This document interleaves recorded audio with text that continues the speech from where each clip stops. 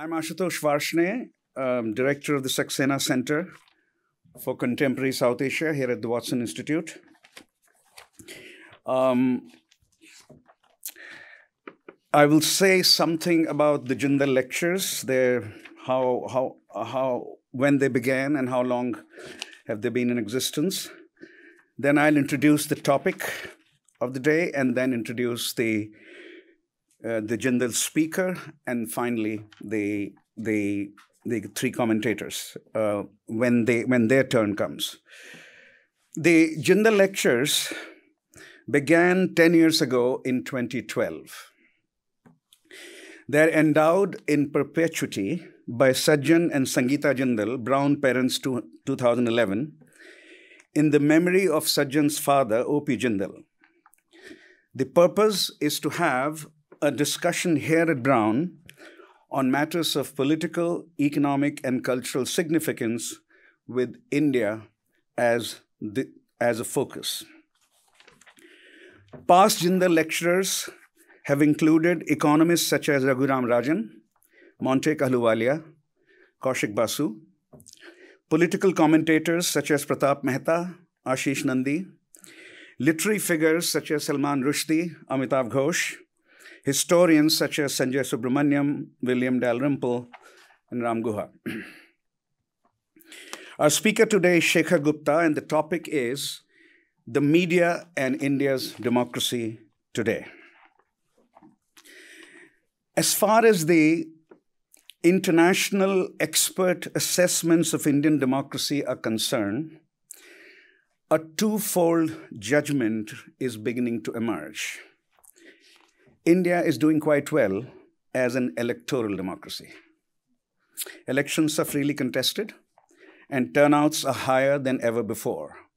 2014 and 2019, for the first time since 1952, the first elections in 1952, India's turnout crossed 65%.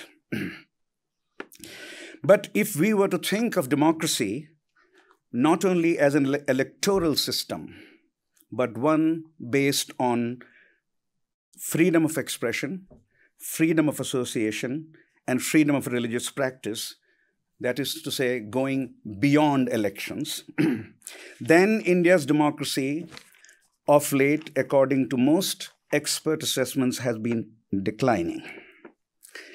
Is that assessment correct? And how does it affect the media in particular? That's the topic today. and to help us understand these issues, we have uh, on our panel uh, four distinguished uh, uh, journalists. And we had in April the first part of this discussion when Siddharth Varadarajan, editor of The Wire, was here. And we had um, um, three panelists, including Salil Tripathi, who is present today as well. Let me now introduce our, our, our Jindal lecturer, Shekhar Gupta. Founder and editor in chief of The Print, India's fastest growing digital news platform, Shekhar is also a, a, a prolific columnist with his highly influential and widely read weekly column national interest which has been the source of several hypotheses in my professional life as a political scientist and has been translated uh, is translated in five languages. He is a recipient of the padma bhushan which would be the third highest government honor in India. He hosts Off the Cuff OTC, an offering from the print, which sees him in conversation with an eminent guest twice a month. His daily YouTube show, Cut the Clutter, explains the big news developments of the day from India and around the world. In his four decades of journalism, Shekhar has reported, note this, on the Nellie Massacre of Assam in 1983, Operation Blue Star, Amritsar, 1984, the student uprising in Tiananmen Square, 1989, Beijing, the fall of Berlin Wall, 1989, 90, 89, 89 90. The first Gulf War from Baghdad, the first US backed jihad in Afghanistan, and the many twists and turns in the Sri Lankan Civil War between 1983 and 1993 there's the probability that one single journalist would cover so many uh, events of great historic and international significance is generally very low. Shekhar has been exceptionally lucky, I think, and she's had he's, he's had exceptional editors sending him to, to, to, to these, to these world-shaking events. Before the print, Shekhar served as editor-in-chief of the Indian Express for 19 years and also simultaneously held the position of company's CEO for 13 years. He'll speak to us uh, for, for 45 to 50 minutes and then we'll have the three commentators comment for 10 minutes each, and I'll introduce them as their turn comes. Welcome to Brown Shekhar. He's coming after 11 years. He was here 11 years ago. Welcome once again.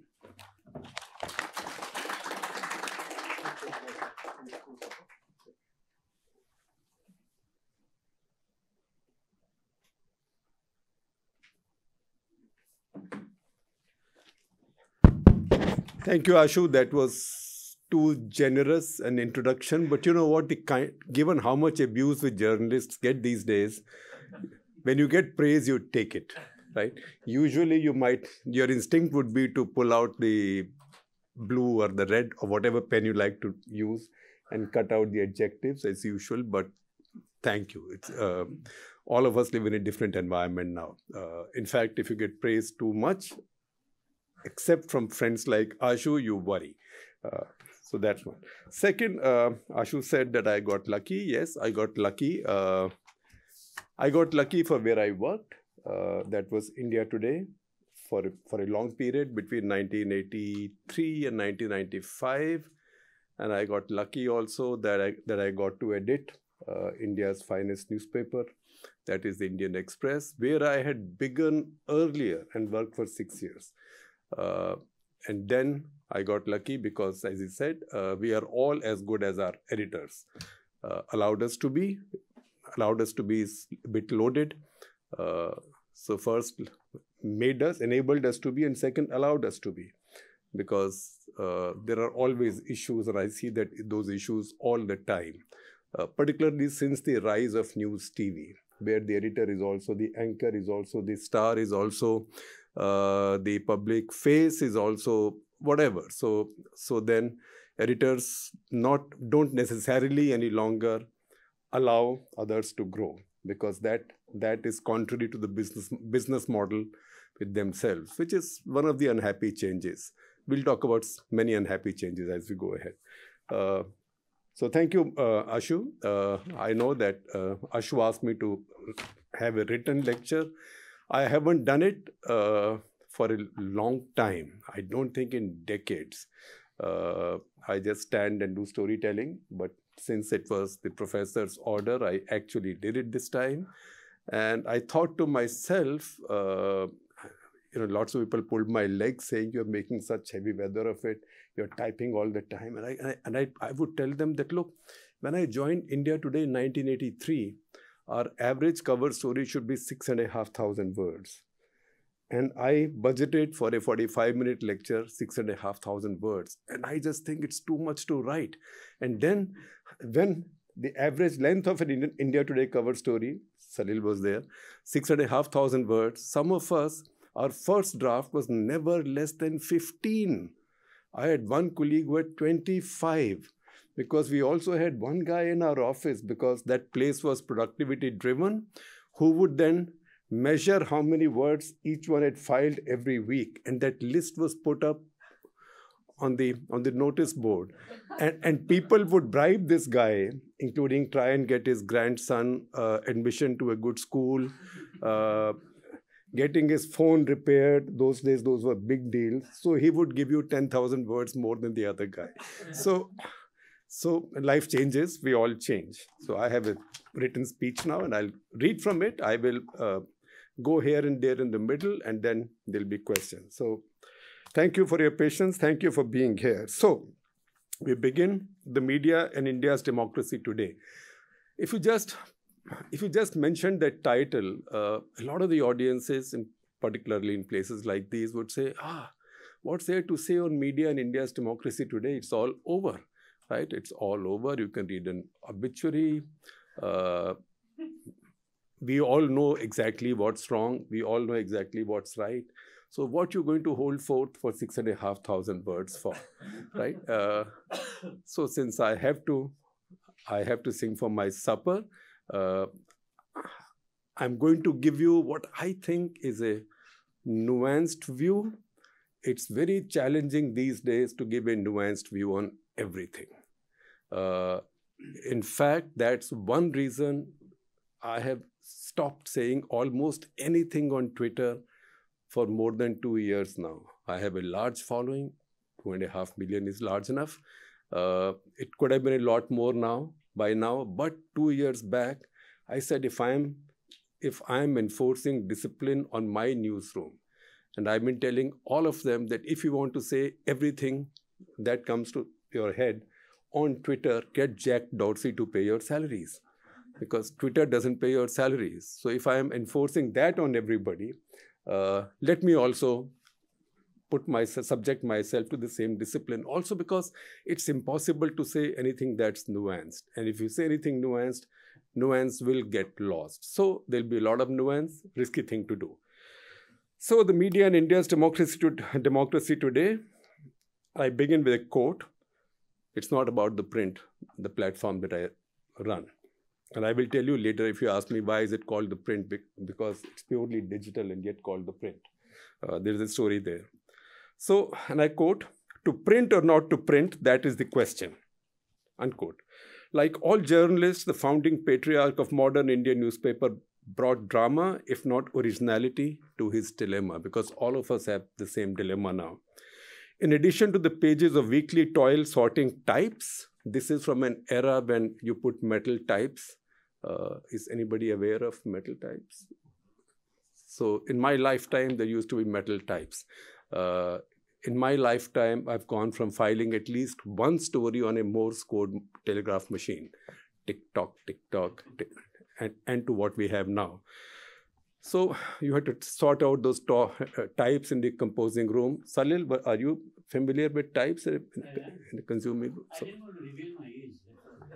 I know it. I, I shall reveal it if you don't. Salil it work for us. Uh, so, pangs, so pangs of weekly toil sorting types, James Augustus Hicky complained in a December 1780 column about the, about the misuse of laws and even restrictions through the post office. James Augustus Hicky was the founder of the first newspaper in India, the Bengal Gazette, in 1870. And that's when East India Company, if it wanted, it could, it could just tell the post office not to distribute your paper. Famine doth, famine doth make cowards of us all, Hicky conceded, but he was made of sterner stuff. He continued to print his original Bengal Gazette. That was the name of the paper.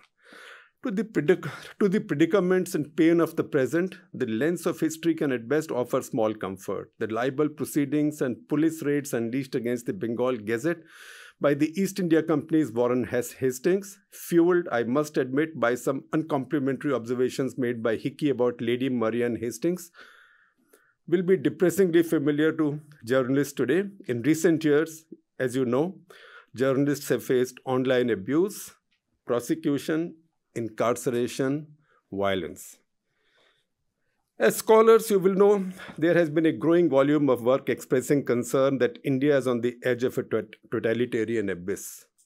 The argument that Prime Minister, am I audible? Is this working? Okay. The argument that Prime Minister, Minister Narendra Modi has undermined the foundation of India's foundations of India's democracy has been made, among others, by Christophe Jaffrelot, Arvind Narrain has argued that we are in the midst of an undeclared emergency, and if I may add, by our host, Ashutosh Varshney.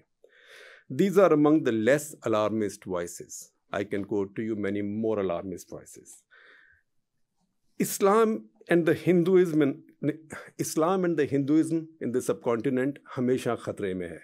Does anybody get that much Hindi idiom here? If you don't, that Islam and Hinduism in India always see themselves as being in danger. So Islam and Hinduism in the subcontinent हमेशा खतरे में है like them the freedom of like them the freedom of the media too has always been in peril smaller or bigger the scale changes The point of this talk is not sab changa si. Remember what Modi said at that uh, said at that was it at Texas uh, at Howdy Modi sab changa si.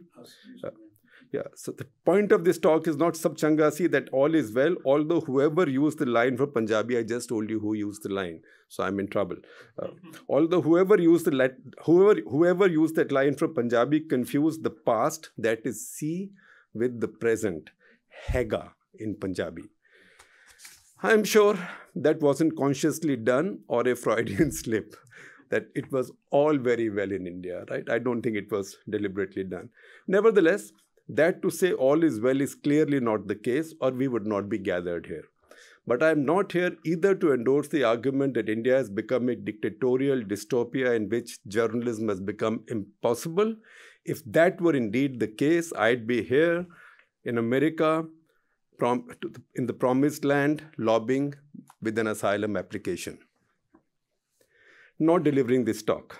It's easy to argue that democracy has collapsed in India and seduced many by adding passion and dramatic intensity to the debate. That position is, I humbly argue, the advocacy of despair and defeat. The circumstances of Indian media today, I would say instead, are ones in which non partisan, objective journalism must find a way to thrive. Sure, there are problems bigger than before, ranging, of, ranging from pressures by the state, coercion by competing ideologies, and financial stresses. But it is precisely in these situations that good, objective, non-partisan journalism thrives and survives. These are our most challenging times in India, yet good journalism is needed exactly in times like these. See the press here terrible, something terrible. It's a quote from somebody. And I shall just tell give you the concept, uh, the context. The Prime Minister of India is not given to sharing his inner thoughts, least of all with journalists. There was one occasion, though, where the curtain lifted. And I quote now Some say we are suppressing the press, the Prime Minister told a foreign visitor. He went on, You see the press here? You see how it functions? Huh? Terrible. Something terrible, he said.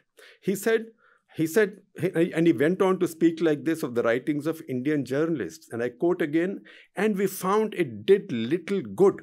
The media inflamed communal tensions and spread disinformation. Therefore, we put an end to it. That prime minister was, as some of you might have guessed by now, Jawaharlal Nehru, not Narendra Modi. Like all story, it's best to begin at the beginning. And this one begins with the fact that the Indian media has always had a troubled relationship with power, as Hicky's unpleasant encounters with Warren Hastings show. The long history of Indian newspaper struggle against colonial power is embedded in our historical consciousness. It generally isn't acknowledged, though, that independence did not mean freedom for the press. The period from 1930 to 1960, as historian Devika Sethi has pointed out, was one of uninterrupted battles over censorship in India. Following independence, the courts pushed back against efforts by the government to restrict media freedoms. In the 1950s, Supreme Court quashed a ban on the left-wing magazine Crossroads, imposed by government of Madras, as Chennai was called then. It was then a state. Uh, Tamil Nadu came in 1968. Although the law did permit restrictions on speech in the interests of public safety, the court held that the term could only reasonably mean significant threats to the state. The court also stopped the Delhi government from pre censoring the Rashtriya Swayamsevak Sanghs, that is the RSS magazine organizer. The state of Bihar was similarly stopped from banning the work of revolutionary poet Shaila Baladevi, who had written, this is poetry, I am the bloodthirsty goddess Kali who lives and, and moves about in the cremation ground. Plague or famine is my great joy. I am thirsty. I want blood. I want revolution. Today, accustomed as we are to imprisoned undergraduate, sorry, today I'm not so used to reading as you know. Today, accustomed as we have become to impassioned undergraduate poetry, it would seem implausible, implausible that words like these would set independent India on fire. The India of the time, though, was somewhat different from the India we know today. In 1949, tens of thousands of Adivasis had been marched from their homes into de facto concentration camps in an effort to crush a communist insurgency. The Military Intelligence Directorate, Directorate admitted, this is from archives, the Military Intelligence, Intelligence Directorate admitted two years later that there was a paucity of good grains, water, and bare necessities of life at centers where the Adivasis had been concentrated. 1949. In the Northeast, which I covered, um, as Ashu said, I got lucky to cover many many parts of the world where people were not so lucky. And they were making stories that were big stories for us but they were they were suffering greatly through them. I was sent to i was sent to cover the northeast at the height of trouble in the northeast between 1981 and 83 so i take you back to the northeast where the civil servant Vijinder Singh Jafa hurried to us friends and fellow travelers in the Northeast, where he served as, as an Assam cadre IS officer. He reminded us in his book that the armed forces were recording during the same, that the armed forces were resorting during the same period to the destruction of entire villages because they had learned their counterinsurgency from the treatises written by the British on Malayan insurgency. So, so they were carrying out destruction of entire villages coupled with forci forcible relocation of communities in an effort to contain ethnic insurgencies. The village elders of Darzo and Mizoram were like Mizoram. Mizoram is a distant state in India, still with a population of just over a million people. The village elders of Darzo and Mizoram were lined up at gunpoint and told to sign a letter. And I quote now, told to sign a letter that they had burned down their own village and that no force or coercion was used by the security forces. Jafa's first posting as a 1965 batch IS officer was, an, was, was as a subdivisional officer to Lunglei, a most distant, distant outpost in Mizoram, where a two-decade insurgency began in February 1966. In fact, if I take you back, Mrs. Gandhi became Prime Minister of India in the last week of January 1966. She was a very weak Prime Minister. 28th of February, within a month of her taking over, the Mizos announced a sovereign republic.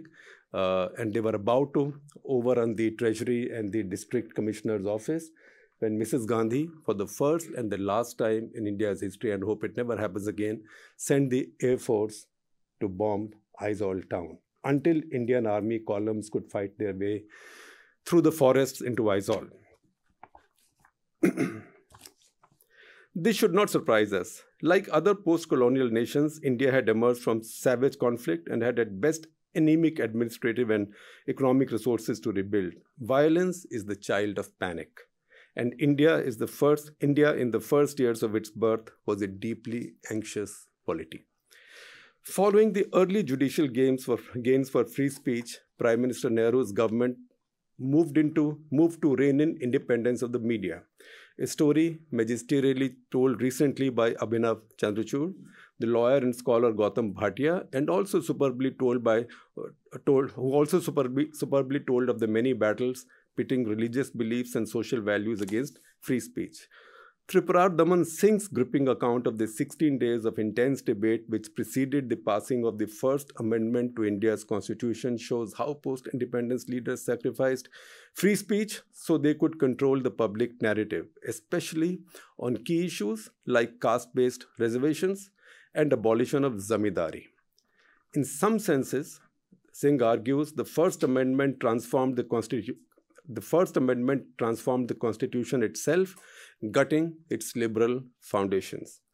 This position is, of course, contested, but I think it is not unreasonable to suggest that some of the problems the media faces today were embedded in our public debate at the Republic's birth. The story of bludgeoning into submission of Indian, Indian media during the emergency and the long battle of attrition newspapers fought with Prime Minister Rajiv Gandhi was personally experienced by some of us here. I was a journalism student during the emergency.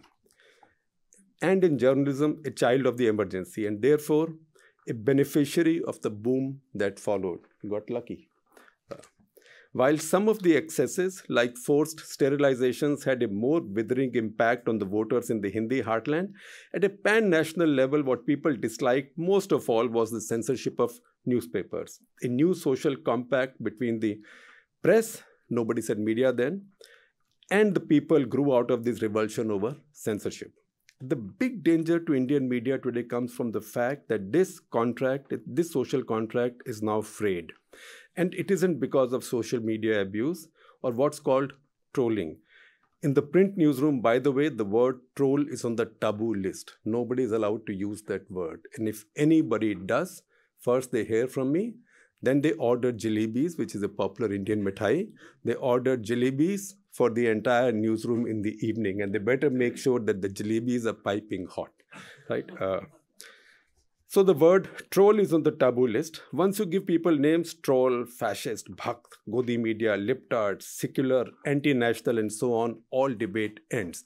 So uh, Tihara, who walked me to walked me to your center, asked me on the way if I spend time on an American campus or or overseas in, in the Western world. And I told her that I, I didn't live on an American campus, but I was involved with Professor Steve Cohen. And I spent time in Washington working with him. So one of the things he used to teach all his students and all the scholars who worked with him was he, that I ban, if you work with me, the use of two words, superpower and third world is banned. Because the moment you use one of these, there is no space left for any debate. Then you finish the argument. So similarly, I follow that example and I ban a few words in my newsroom. It was a decade and a half back that our news media, especially TV channels and particularly, particularly so in Hindi, switched to the news as free entertainment model. Snakes began marrying trees. You can Google all of this.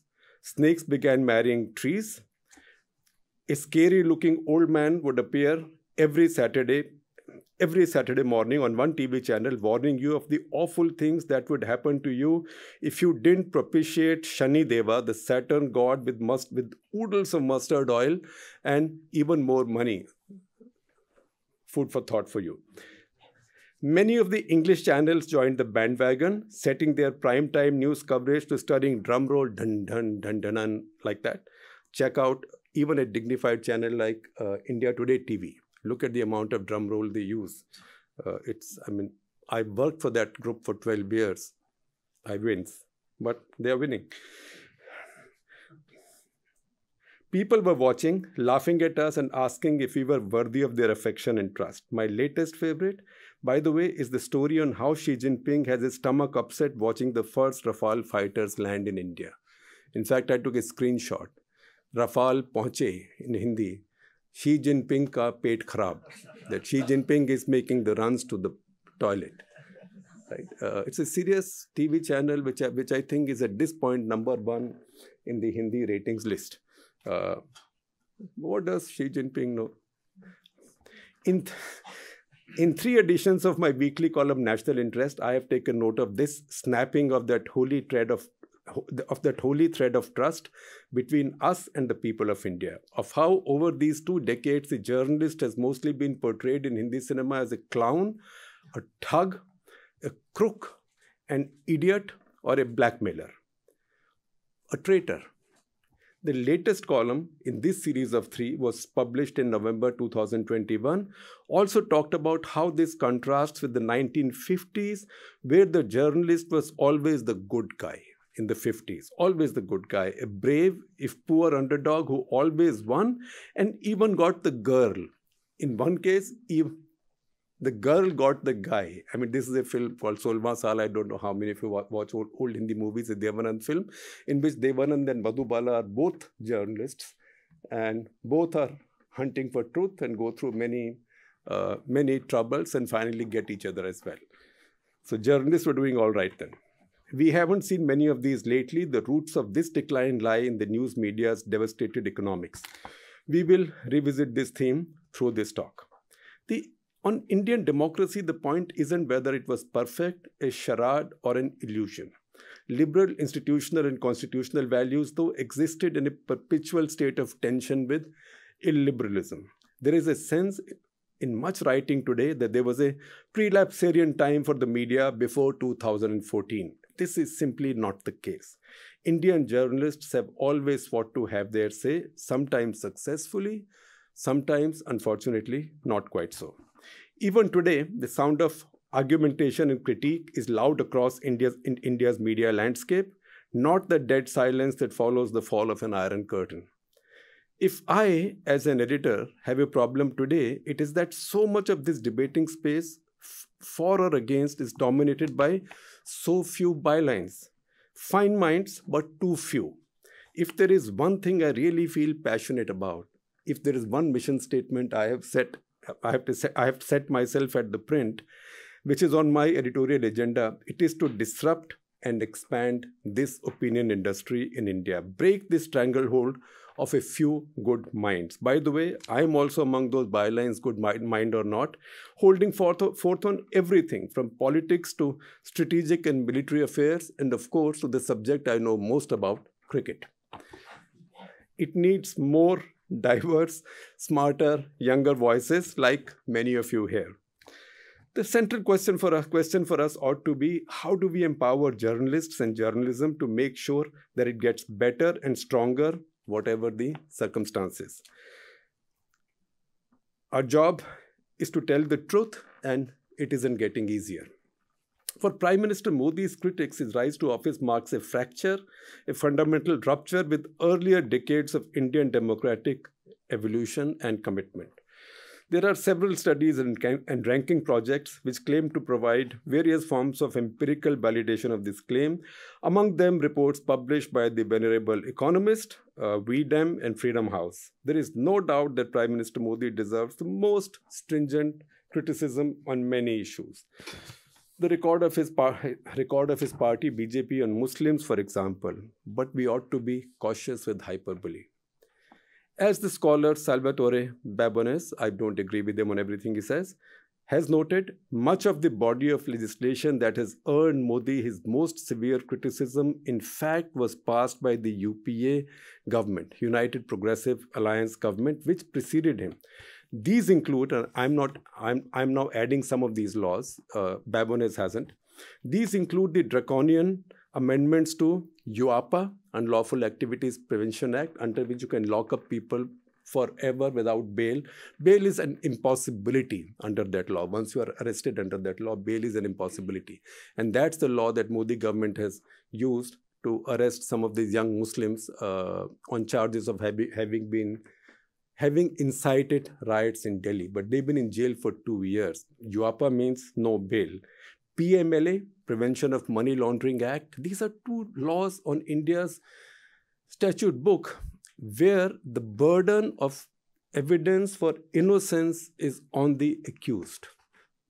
Sorry, where you are guilty as charged unless you can find evidence to the contrary. So it's not as if it's not as if somebody prosecution makes charges you defend. No, prosecution's charges are valid and accepted unless you can find overwhelming evidence to turn it around. That's not like good civilized states. But these laws came from the UPA or the setting up of NIA, the National Investigation Agency, which which reduces state state government's control over the police because NIA can go to any state now.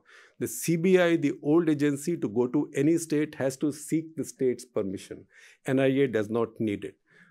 UPA did it just after 2611 because that was an opportunity, and UPA thought obviously that they were always going to be in power and no one else was going to come into power. So someone else came to power.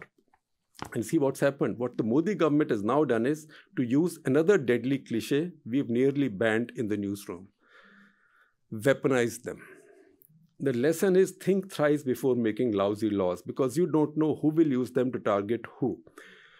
Even you who passed them. So look at the number of Congress people who've now been charged under the same laws, including the former Home Minister, who might who, who was the key figure in passing these laws and amendments, Mr. Chidambaram himself. As a journalist who covered the massacres of Nellie, 1983, massacres of Sikhs in Delhi, 1984, and more, I can say with some confidence that Prime Minister Modi did not invent the communal pogrom. On the walls of the print newsroom, we have pictures of some of India's finest photographers. They've been good enough to gift them to us, including many from our photo editor Praveen Jain, who's about my age and has seen a great deal. One set is of the photographs of the 1987 Hashimpura massacre of Muslims in a locality near Meerut in Uttar Pradesh, just less than 100 kilometers from Delhi.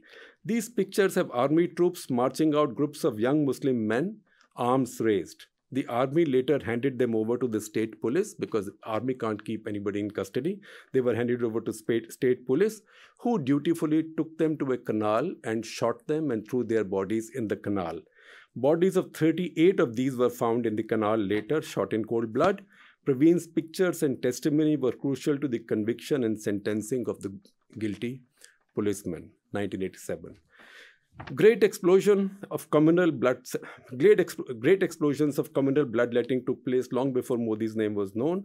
Today the bigotry and abuse of state powers that harass muslims in india has gone to another level is represented by the bulldozer and is inexcusable. I do not however remember a time when things were particularly rosy.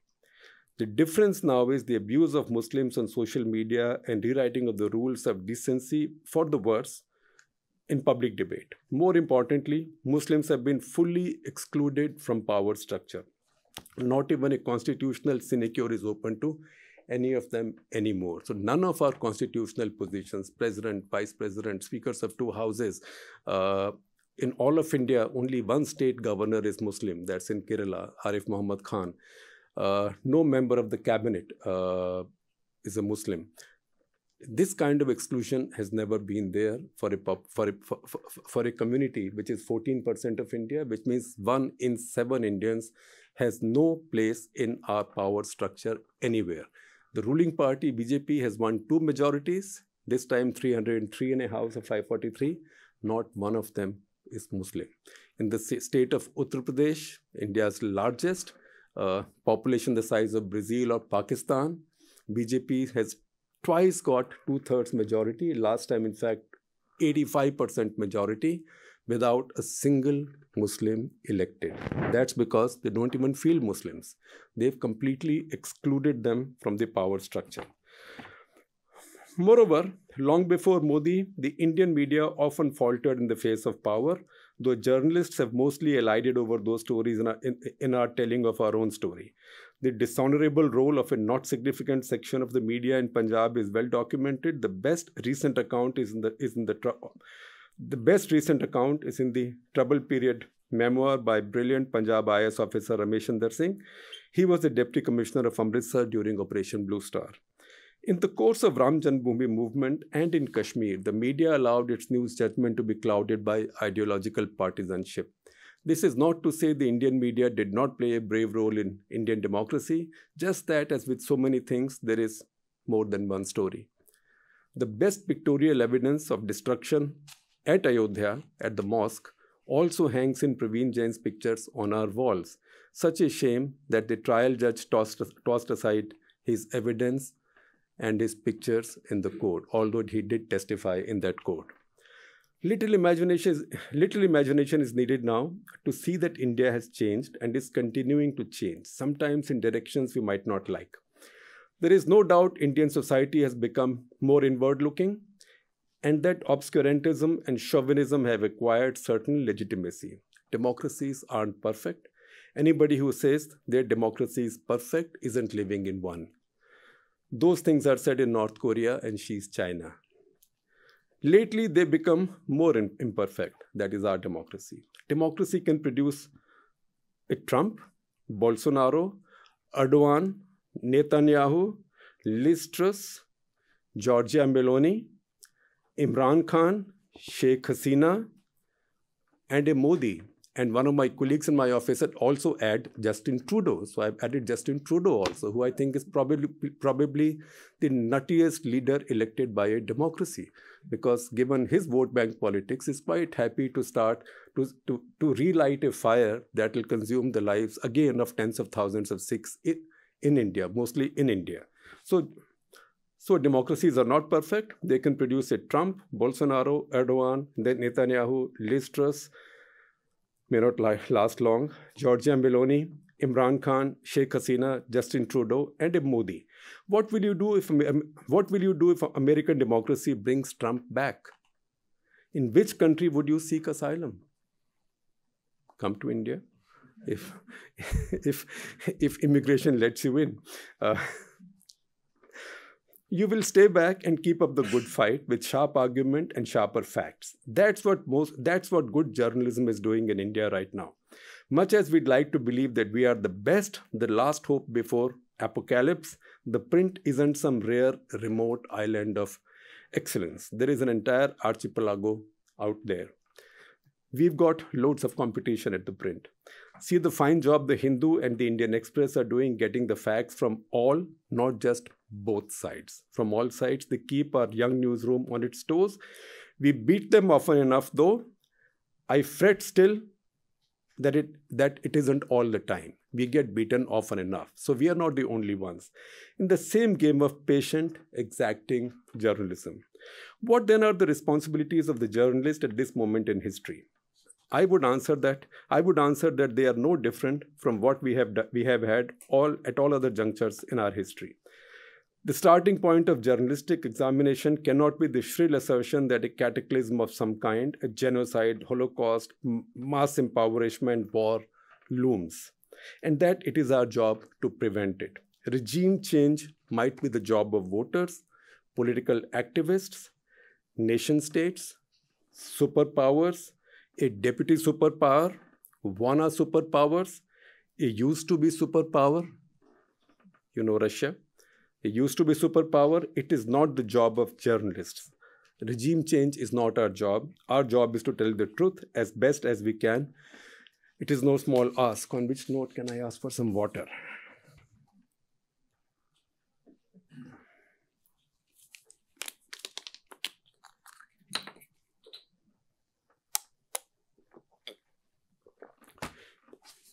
The job has now become much tougher. There are rising challenges both in the newsroom and beyond, in politics and society, shaped by technology, the phone that each one of us is tethered to every walking moment, and presuming that somebody has the keys to that phone, just as you are walking and talking apprehension of online abuse, surveillance, taunts your ad, taunts, taunts that your advertisers might face. Your ad, advertiser or sponsor is walking some corridor, and somebody in somebody in power might say, "Oh, you are giving a lot of money to such and such organization. You must really believe in the journalism they are doing."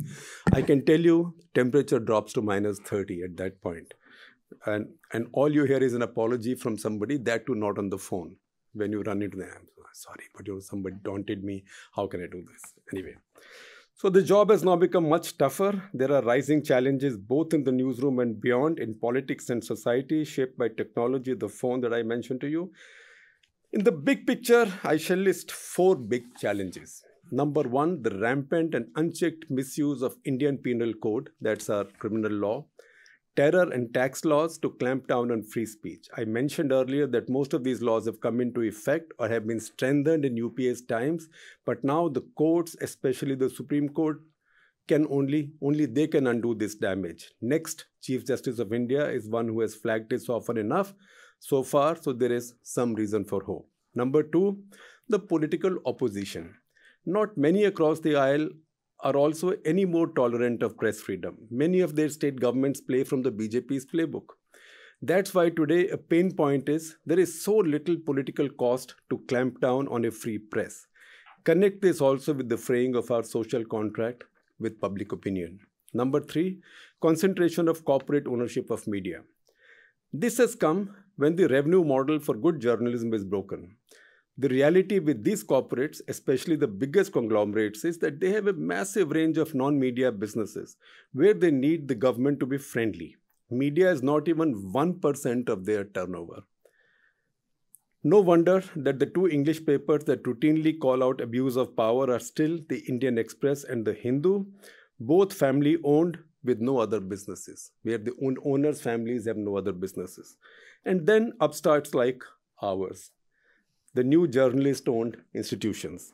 Number four, the digital newsrooms the establishment runs, the army of information technology warriors that work 24 by 7 to delegitimize journalists and journalism. Unfortunately, some of this is also done by many journalists. You disagree with somebody, you malign them.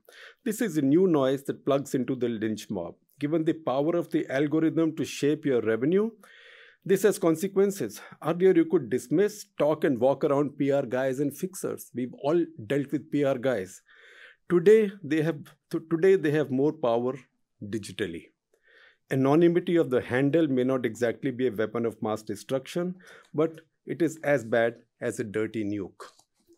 Let me add here an inconvenient point that we, Indian journalists, must debate. Is our vision broad enough to engage with and address the electoral success of Narendra Modi? Like him or not, he's come to power. From time to time, democracies will throw up leaders whose values and principles we might find repugnant. I had given you a list a little bit earlier. But democracy is the branch on which our claims to institutional protection sit. And if we hack at this branch, we, we create the conditions for our destruction. You might know the story of Kalidasa, who hacked the branch he sat on. That's the example.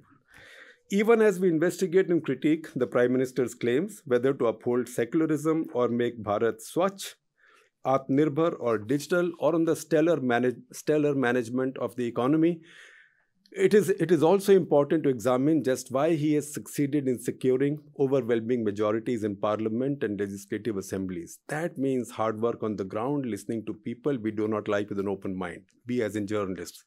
Our inability, our inability to do so doesn't help with that vital social contract because people then say, What do these guys know? These guys know nothing because if every election you say this time Modi is going to be wiped out, thrown out, and he comes back with a bigger, bigger majority, the conclusion people draw is these guys are com- coming with preconceived ideas. They are not doing their jobs properly. That last one I listed is the toughest. Can we handle the truth? Denialism is comfortable but self defeating and journalistically dishonest. Too often, our failure to engage in the most basic journalistic mission has led us to poor judgments about the present and future. The unpopular anxieties and aspirations that led to the juncture we are now at and what might happen, happen next must be carefully unpacked, understood, and explained a social media rant, the virtue signaling display of partisanship, the failure to maintain objectivity when assessing questions of fact. Now, this, this Sunday, Sri Lanka's women, Tihara and I were having a conversation on this. Sri Lanka's women's team and our women's team are fighting in the Asia Cup final. Obviously, I'm on the side of the Indian women. But if we lose, can we change that fact as journalists? Because we are so powerful. So so we've got to accept the fact the facts as they are and then go on. But if we deny those facts or if we try and say that oh the umpire cheated in this case the election was stolen the machines were bad or something really awful happened then then we'll have about as, as much credibility as donald trump with his election was stolen charges. These tendencies these tendencies are as much threats to the media and just as lethal as obsequiousness to power. To cross the line from, from journalism into political activism or wishful thinking undermines the legitimacy of our profession itself. Edmund Burke once declared the agitator and pamphleteer John Wilkes fitter for bedlam than for public office. From its early years, the written word has been has been a site of bitter ideological contestation. This is as it should be. The institution of modern mass media, though, rests on a complex set of conventions to do with language, with plurality of opinion, and with ways in which facts are assessed and deemed credible. Through the course of centuries, these conventions have led mass media to develop a relationship of trust with its audiences this is why generation, generations of readers turn to a newspaper for information rather than a pamphlet tossed on the street, or today, a passionate partisan blog or a tweet. For us to append these conventions to pursue some ideological project, though, is to dismantle the one arbiter of truth we have in democratic societies. That's the free media. The pamphleteer, revolutionary or reactionary, ought to have an important place in democracy the media ought not to be their home. This is a global challenge, and the world will be a more fraught place if editorial stewardship does not assert itself. Indian media crisis isn't only about Modi. What else is there? Ten years ago, the Times of India proprietor Vineet Jain famously, famously proclaimed, We are not in the business of publishing newspapers, we are in the advertising business. Ken Auletta, who interviewed him, observed that India is one of the few places on earth where newspapers still thrive. This is no longer true. Long before the shocks of the pandemic hit, revenues for print media had begun to decline, hitting the English language industry particularly hard. Layoffs and cost cutting have become routine, just as they did in the West a decade ago. Figures on tele- television news are famously unreliable and doctored, but the numbers we do, we do have suggest a similar picture. Don't be misled by the recent spurt in bottom lines of some newspapers and TV channels. Almost all of this is largest from mostly state governments of various parties. This comes at an editorial price, and this won't last either. Like the story of change in India, the crisis facing the media, media isn't about Narendra Modi or just about Narendra Modi. For decades, scholars Swati Maheshwari and Colin Sparks have noted that contingent heteronomy, which I think means mutual backscratching in English, governed the political journalist relationship. Governments, both at the center and states, did and continue to punish purportedly hostile reportage and reward the pliant. Check out the archive of Indian journalism. There was a lot more fawning and sycophancy in the papers until 1977. I don't know if you have the archives, but you have access to them. In Indira Gandhi's heydays, Indira, in, in, in, in Indira Gandhi's heydays of 1969, 1977, if you find one broadsheet other than the Indian Express, one broadsheet other than the Indian Express that questioned her rising dict- dictatorial tendency and nutcase nationalizations, please do let me know. I'd be grateful.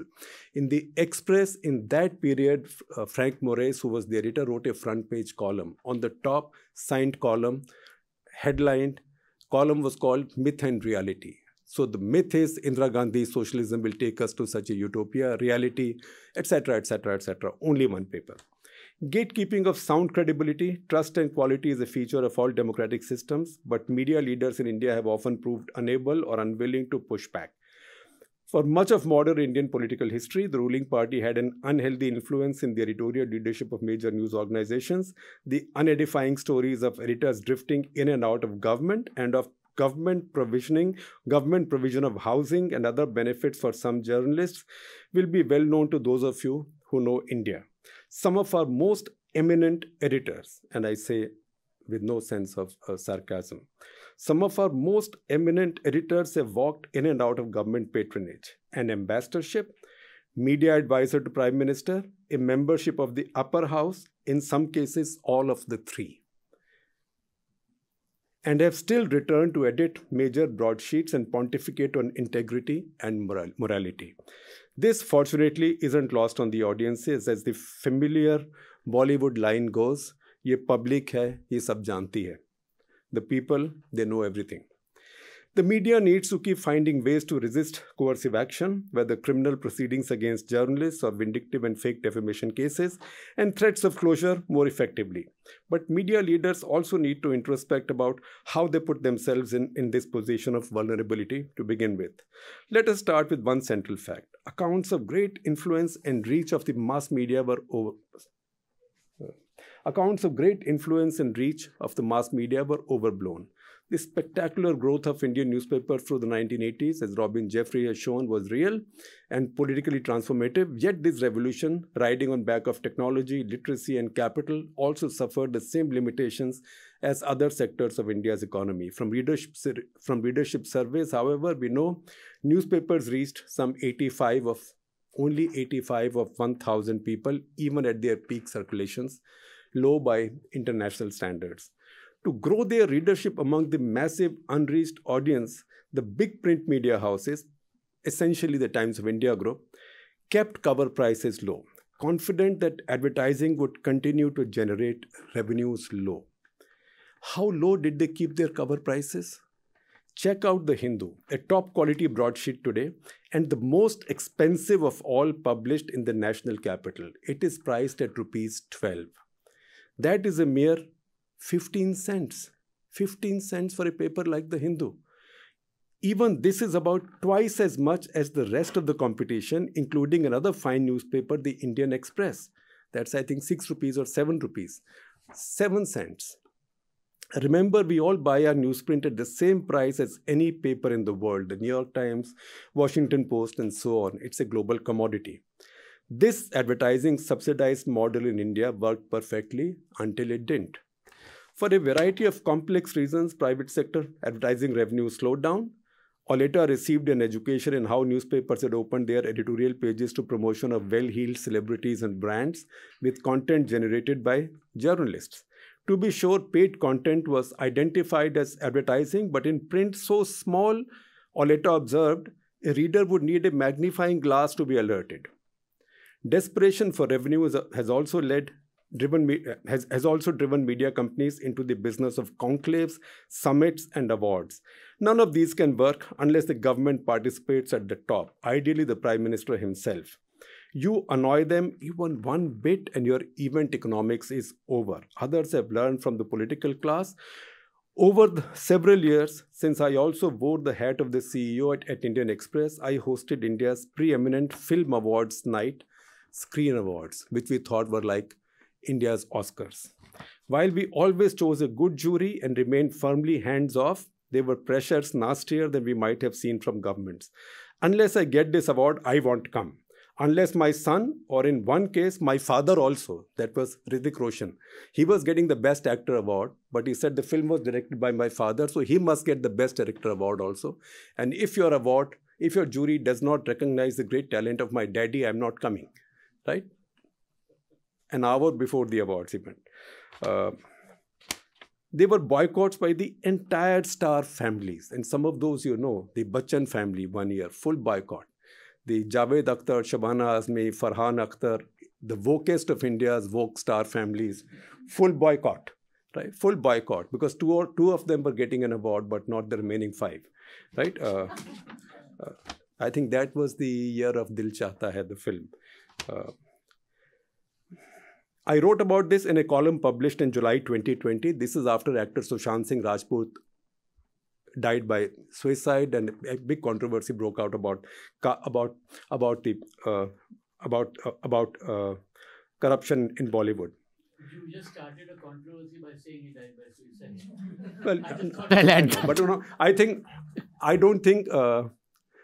I think Twitter armies who say that he was killed by somebody, uh, we are used to heavier duty trolling than them, so it's okay. So, uh, it upset our insistence on protecting the jury upset so many megastars and their clans that I don't believe I could swing one like that again.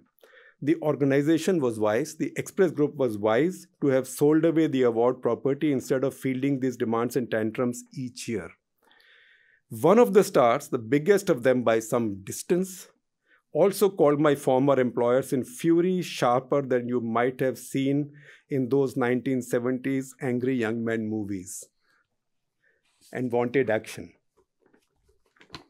He wanted me sued. What he didn't know was that I had taken the precaution of calling the publisher and saying, listen, I'm going to do this.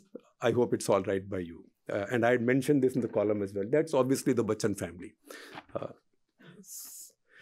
than events, sponsors and stars, media organizations became even more dependent on government advertising. Excessive borrowing to expand operations led some organizations into financial difficulties following the 2008 financial crisis. The problems were averted with some behind the scenes help, but this came with obvious this came with obvious costs to newsroom integrity and in some cases with loss of ownership.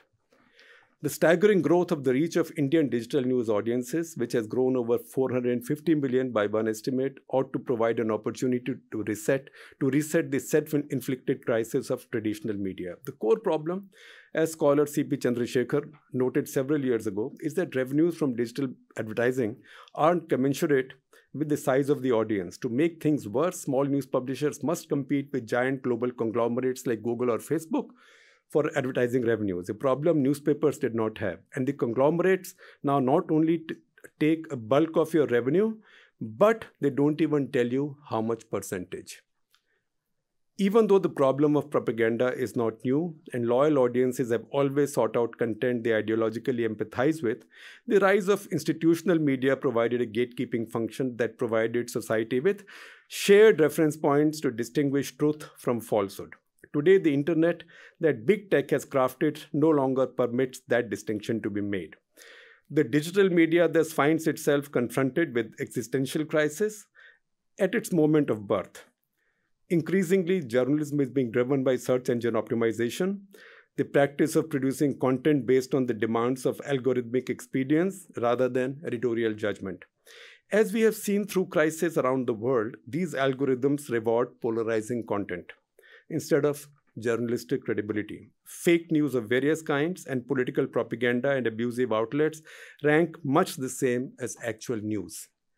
Even as I, even as I speak to you, ThePrint journalists are out in the field in Ladakh, Arunachal Pradesh, Gujarat, Madhya Pradesh, Punjab, Kashmir, Himachal Pradesh, and many other states.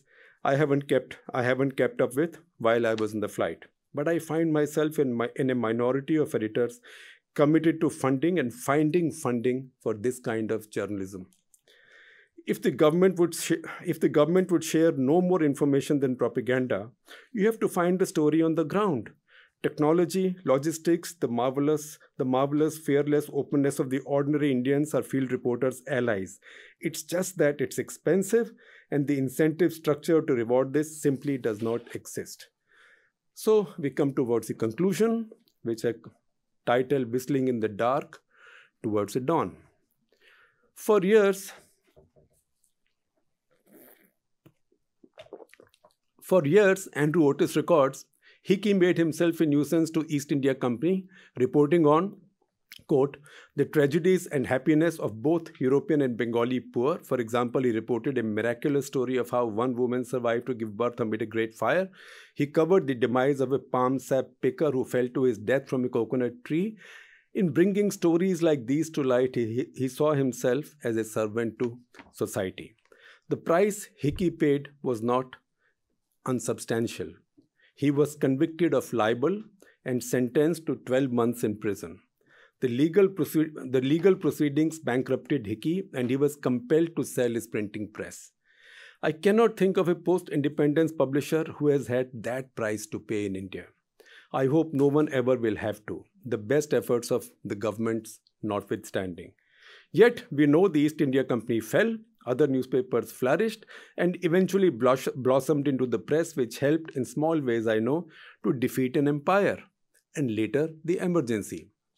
I wish I had a more resounding call to action other than to urge you and your friends, fellow travelers, and sworn blood enemies to, to purchase subscriptions to digital media in India. And I wish I had something more stirring to say other than the choices of who you subscribe to should be guided not by ideology or voting choices, but by calm appraisal of which platforms bring you the most granular information, the most authoritative analysis, and the widest plurality of opinion. This is old fashioned, boring, old fashioned journalism. I know, and this competes poorly with the siren song of the troll, if I may defy my own newsroom ban on the word. I am sure, I'm sure some of you think, I'm sure some of you think I'm just whistling in the dark. Perhaps you're right. I think of it as singing a song in the darkness, about the darkness, in the conviction it will see us through until the dawn.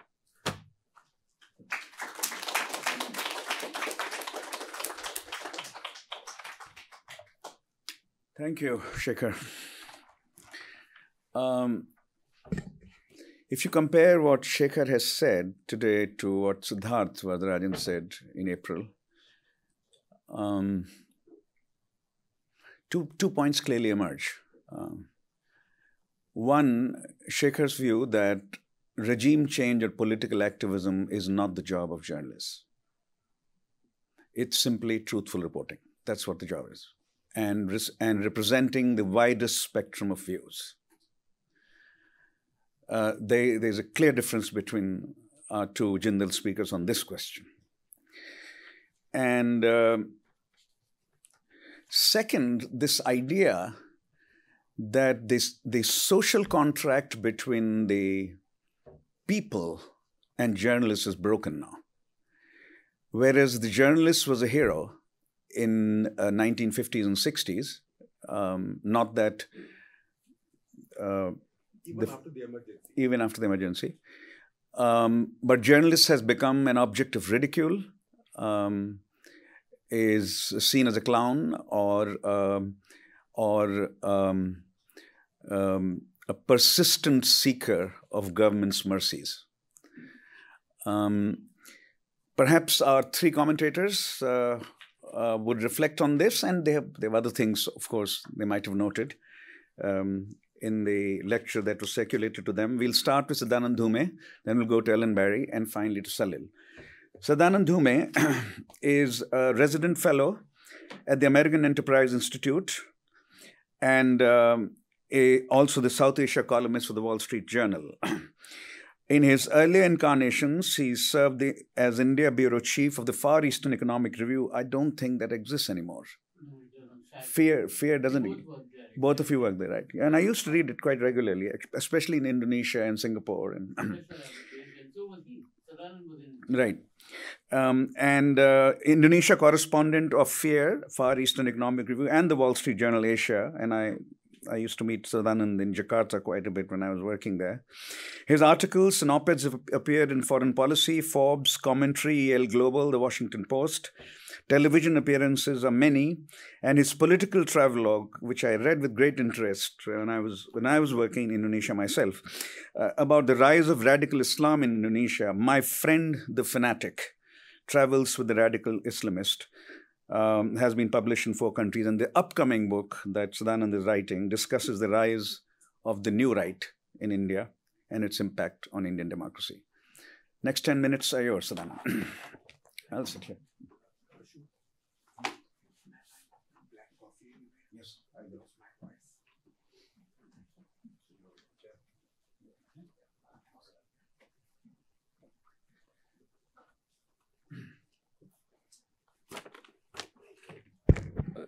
Thank you very much, Ashu, for the kind introduction. It's a real honor to be here. Uh, during Shekhar's comments, you know, he made the joke about how the commentariat in India is filled with too many people who uh, claim expertise on too many things.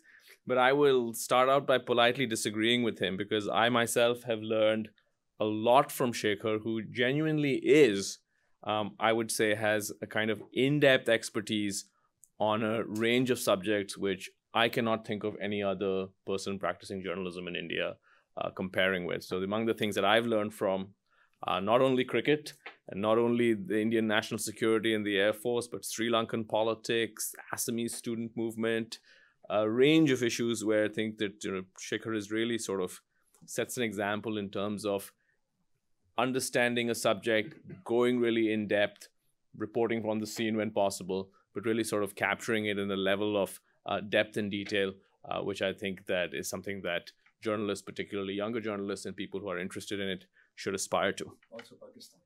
Also, Pakistan. uh, Yeah, the, the- the list is too long. um, I'm going to sort of uh, speak a little bit, and first, what I'm going to do this, I'll, I'll, I'll divide this into a few parts. Is that first, I want a little definitional definitional clarity of uh, what I mean and what many scholars and people over here mean when we talk about the decline of Indian democracy. Because I think it's sort of clear to us when we have a conversation among ourselves, but it's not necessarily clear to a general audience, including people who are, who are watching online. Um, then I'm going to engage with uh, the meat of uh, Shekhar's lecture.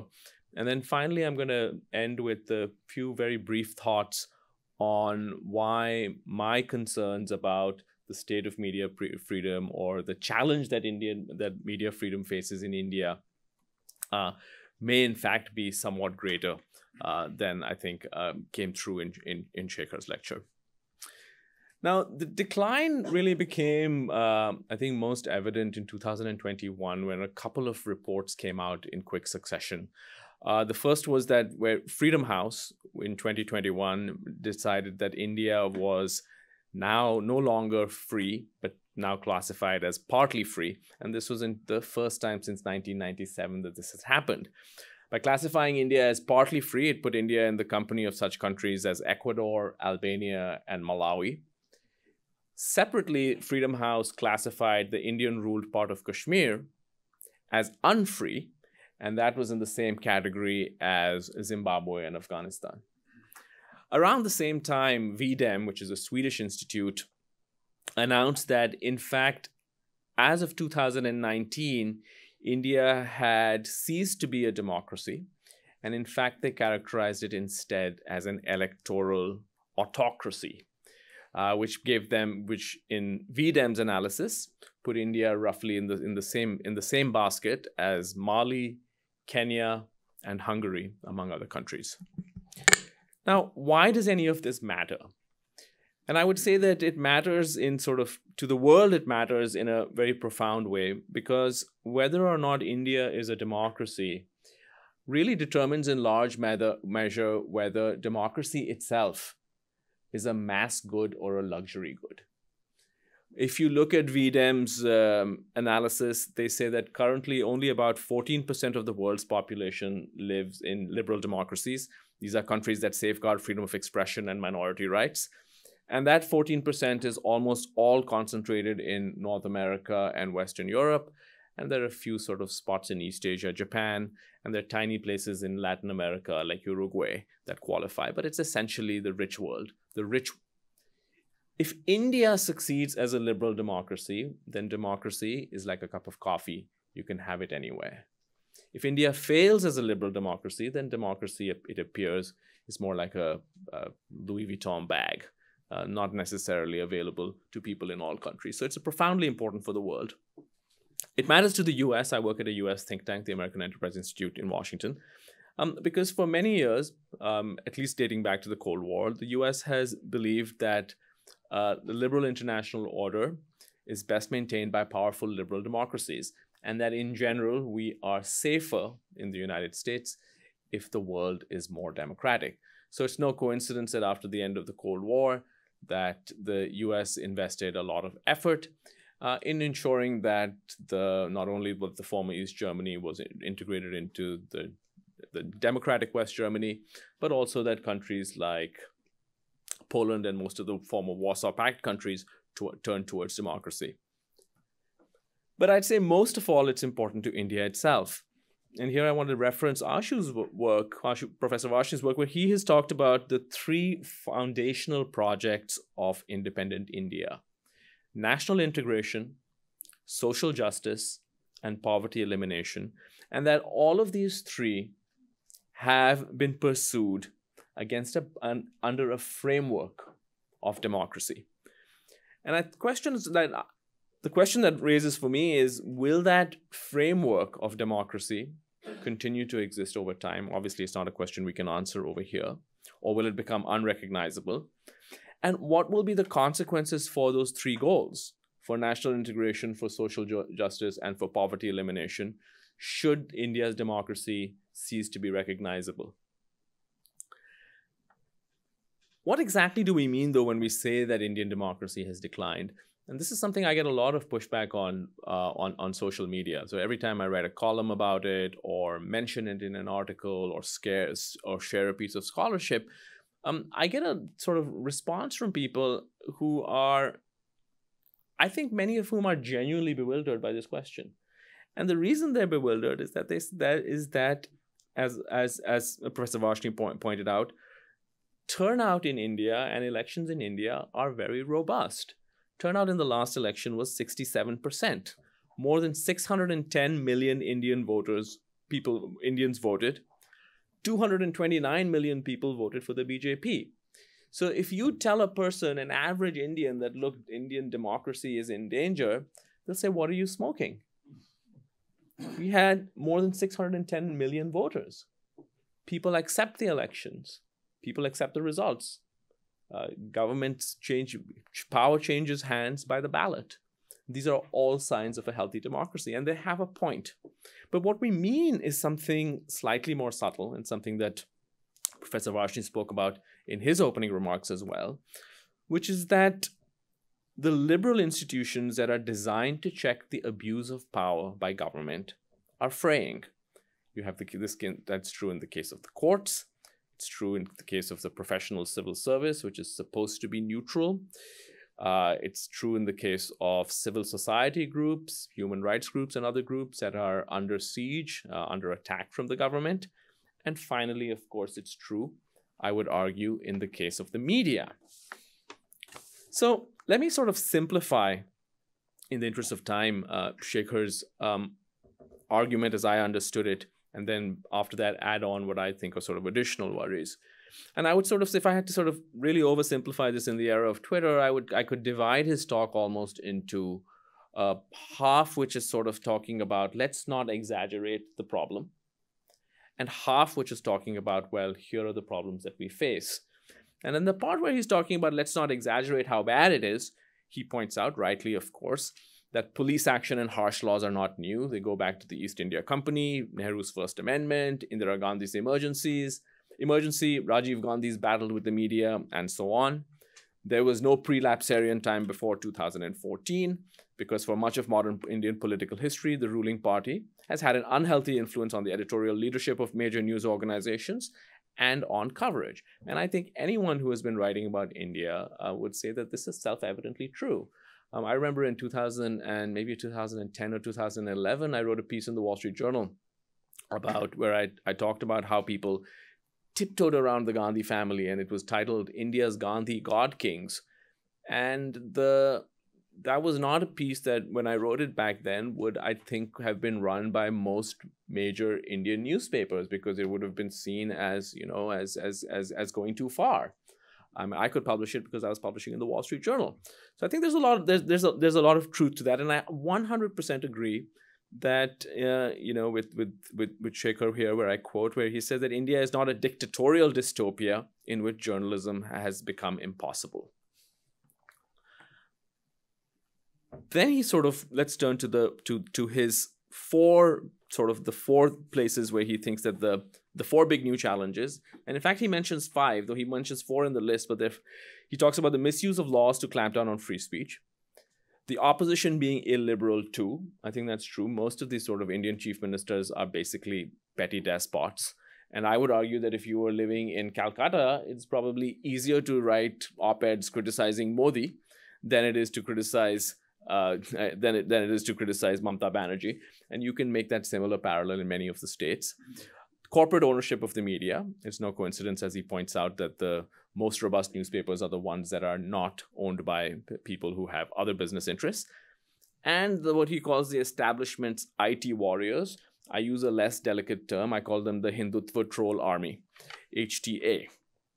And then he talks about the uh, a fifth challenge, which is about the revenues and uh, conclave summits and so on, and how digital revenues are not commensurate with digital with the, with digital audiences.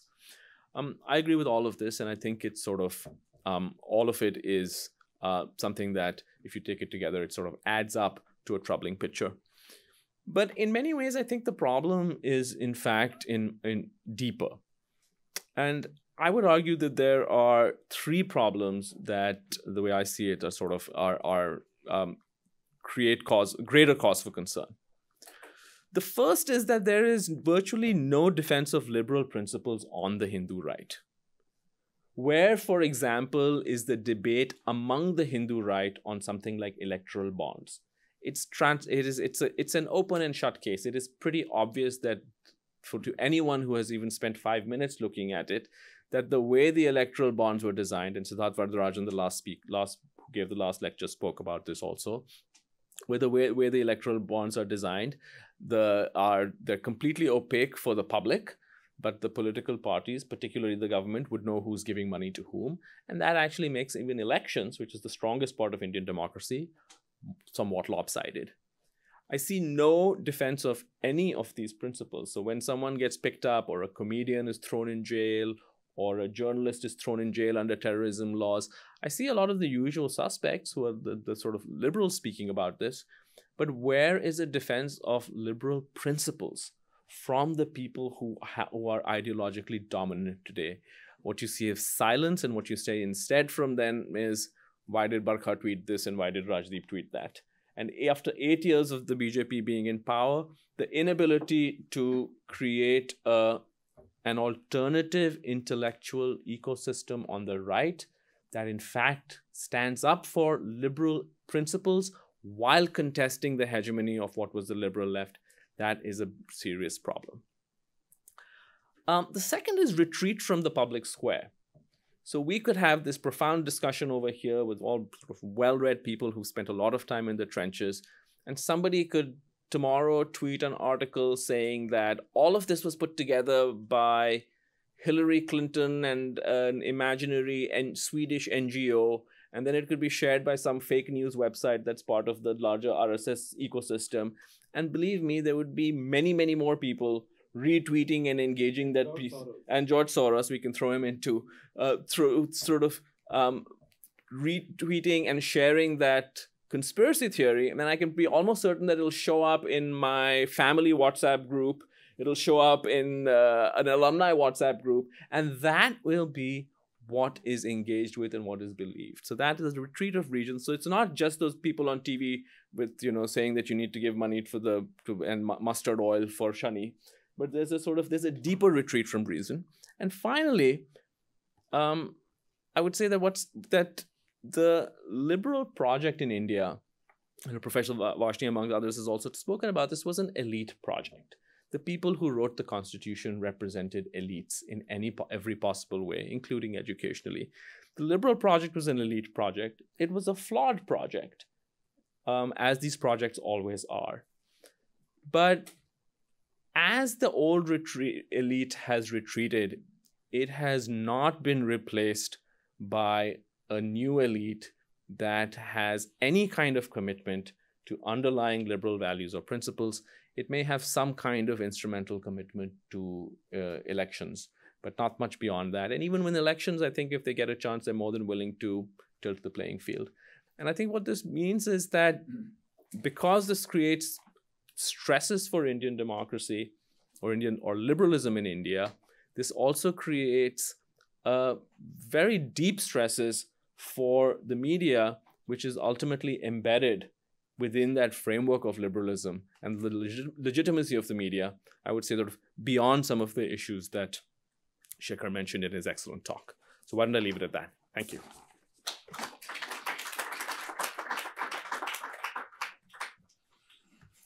Our next commentator is Ellen Barry, uh, currently reporting for the New York Times, has been reporting for the New York Times for a long time. And uh, uh, before she moved to Boston, she was, she was the London based chief international correspondent for the Times. Before that, the South Asia Bureau chief, uh, where most of us met her in Delhi, um, 2013 2017. Um, and uh, in 2020, she was a Pulitzer Prize finalist in the feature writing of that all of us admired, The Jungle Prince of Delhi. We did want her to win that prize, but we don't decide. Before India, uh, Ellen was a correspondent and then bureau chief uh, for the New York Times in Moscow. And while in Russia, she was part of a team which won the 2011 Pulitzer for international reporting for a series on impunity in the country's justice system. She's been a finalist for feature writing, Pulitzer finalist for feature writing in 2001, beat reporting 2004, and breaking news as part of a team in 2007. Uh, this is the first time I think uh, Ellen is visiting us at Brown. Welcome. Next 10 minutes are yours.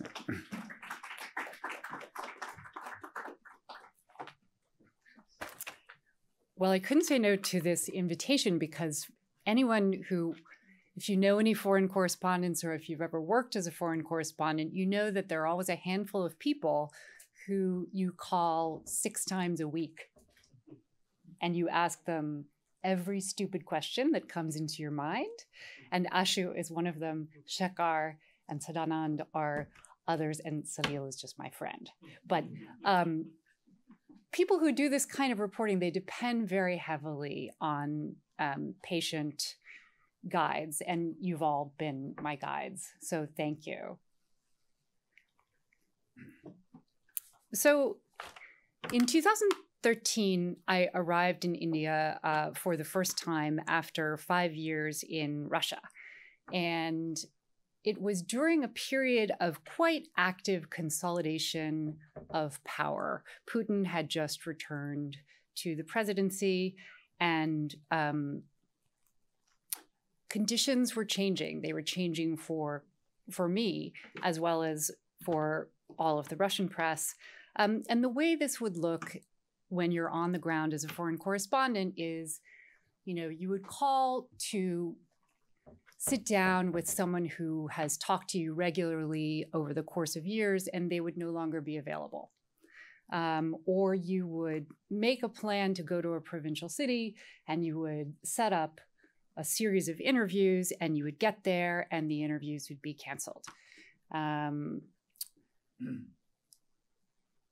you know, at that time, you could almost watch new lines of propaganda coming out through state television and rippling through the population. Um, and really transforming public opinion almost as you watched it. Um, it was extraordinary. And then on top of that, every you know, every now and then there would be news of an arrest of someone who has been out there protesting the government for the last 35 years, a 70 year old opposition activist or, you know, a 25 year old blogger. Um, and I used to go to someone who was sort of close to, had been a Kremlin spin doctor, you know, to try and interpret this for me and say, you know, what's going on? Uh, I asked that question many times. And I remember he used to say, um, the system is telling us that the rules have changed. The system is telling us that the rules have changed. So, India obviously was a huge culture shock uh, on many different levels. On the night that we arrived, I had two small children and we stayed in a guest house. We put, lined all our shoes up outside the door of the guest house, and it rained so much that night that our shoes floated away, and we couldn't find them. Um, but the biggest thing was simply that the information space was almost unrecognizably different. Um, the kind of urge to communicate is something that that as an outsider, I had never really encountered a society with as much um, energy uh, around around communication. I, I don't know how else to put it. I um, one of the first stories I covered was the sentencing uh, of the suspects in the Delhi gang rape, and I remember almost getting trampled by the journalists um, who were running from one side of the courtroom to the other and thinking, this is really different. Um, and that was really true the whole time I was in India. I um, people really cared what you wrote, and that was new. I um, at one point I wrote quite a critical piece about uh, it was a profile of Yogi Adityanath that caused um, such a, a, groundswell of vitriol and online threats um, that for a while I decided that maybe it would be better if I didn't go into the Delhi bureau. Um, and so I thought, where can I go to just wait out the storm? And I planned a reporting trip to a very small town outside Meerut in, in UP. It was a place that I had gone quite often for reporting trips, so I knew everyone there. And, um, and I thought this is a perfect place to hide out because no one can read. And um, it was it was a cast of I think wedding band musicians. Anyway, so I got to this very out of the way place and um, sort of exhaled and sat down on some lady's charpoy and um, and I was listening to two guys sitting under a tree, and one of them said, "Did you hear a journalist called Yogi a terrorist?" um, so information simply moves faster and at a higher volume than any other place I had reported. Um, and this seemed to be an innate demand of the public and a characteristic of the society. Um, that said, I was very uneasy um, to see many things happen during the four years I was in India that felt uncomfortably like deja vu. Um, because when the state consolidates control over information, you learn to recognize the stops along the way because you can see them pass. Um, and in this very eloquent and insightful lecture, Shekhar, I think you you're skimming past a little bit of this process. Um, you know, it's like a train moving along a track. If um, if it is moving in one direction, it would be foolish to think that it may stop or turn around and go the other way. Modi came into power, and it was clear that he no longer uh, needed the mediation of the press, and he did not um, want it. He didn't answer questions from journalists, um, and that was no longer uh, necessary to his system. The the way he used social media, which was very forward thinking, um, was almost like his voice was in your ear all the time. He didn't need anyone to carry it to you. Um, and that was clear immediately uh, that the press was no longer necessary to the system. Um, you know, one of the deja vu moments was the raid on NDTV, uh, which happened shortly before I left. But again, it was uncomfortable because it was so familiar. And that was a story that ran on page A9 in the armpit of the paper, but it was a message. It was the system telling us that the rules had changed. Um, a few months later, all the foreign correspondents got uh, an email saying that for that foreigners were banned from traveling from uh, 10 different places including the places where the government was under most scrutiny for its action. So the Andaman Islands and Kashmir and Assam, we foreign correspondents needed for the first time explicit approval from the foreign ministry. Again, this is the system telling us that the rules were changing. Um, these are the precise places where the authorities have most interest to lie and obfuscate about what they are doing and it is sort of a blatant obstruction of freedom of the press. But it was no longer a concern to the Indian government, which no longer seemed to depend on the sort of good opinion of foreign interlocutors on that score. Um, but then I think my probably my biggest concern is something that Shekhar describes as a sort of archipelago of excellence. Um, and it is excellent. And I admire so the people who work on that archipelago.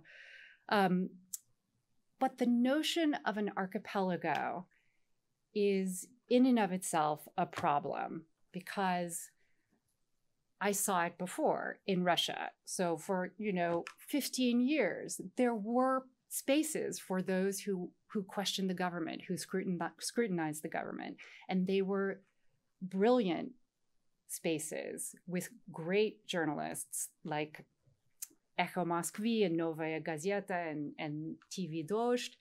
And I remember once asking someone who is quite close to the Russian system, why do you let these places exist? Um, and I was told that it was such an interesting answer that, that limited zones of freedom are essential to the state that we want to build. Um, and this gentleman said to me, you know, he was talking about some of the some of the overseers of of this sort of of of the information space and they say we protect the borders he said within the borders let there be chaos and plasma we are the protectors of the borders of the system but do not cross the borders um, and people were satisfied living that way they those who were not supportive of government policy knew that they were in the minority, but um, but they wanted this information, even if it was on an archipelago. It was still available, and it was in its own way a kind of thriving subculture. Um, but what happened early this year is that that archipelago simply ceased to exist. Those zones of freedom disappeared, and they disappeared, and it was shocking to me almost overnight. Um, the archipelago sort of slipped under the water and the waters closed over it as if it hadn't been there. Um, and because it had been confined to such an enclosed space, it really didn't make an impression on the mass of the population. Um, it was no longer connected to the mass of the population.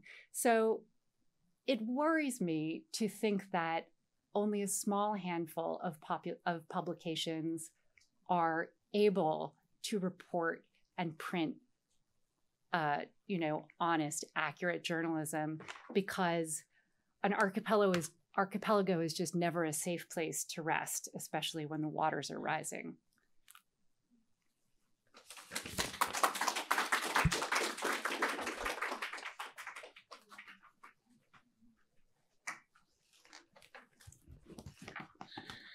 limited zones of freedom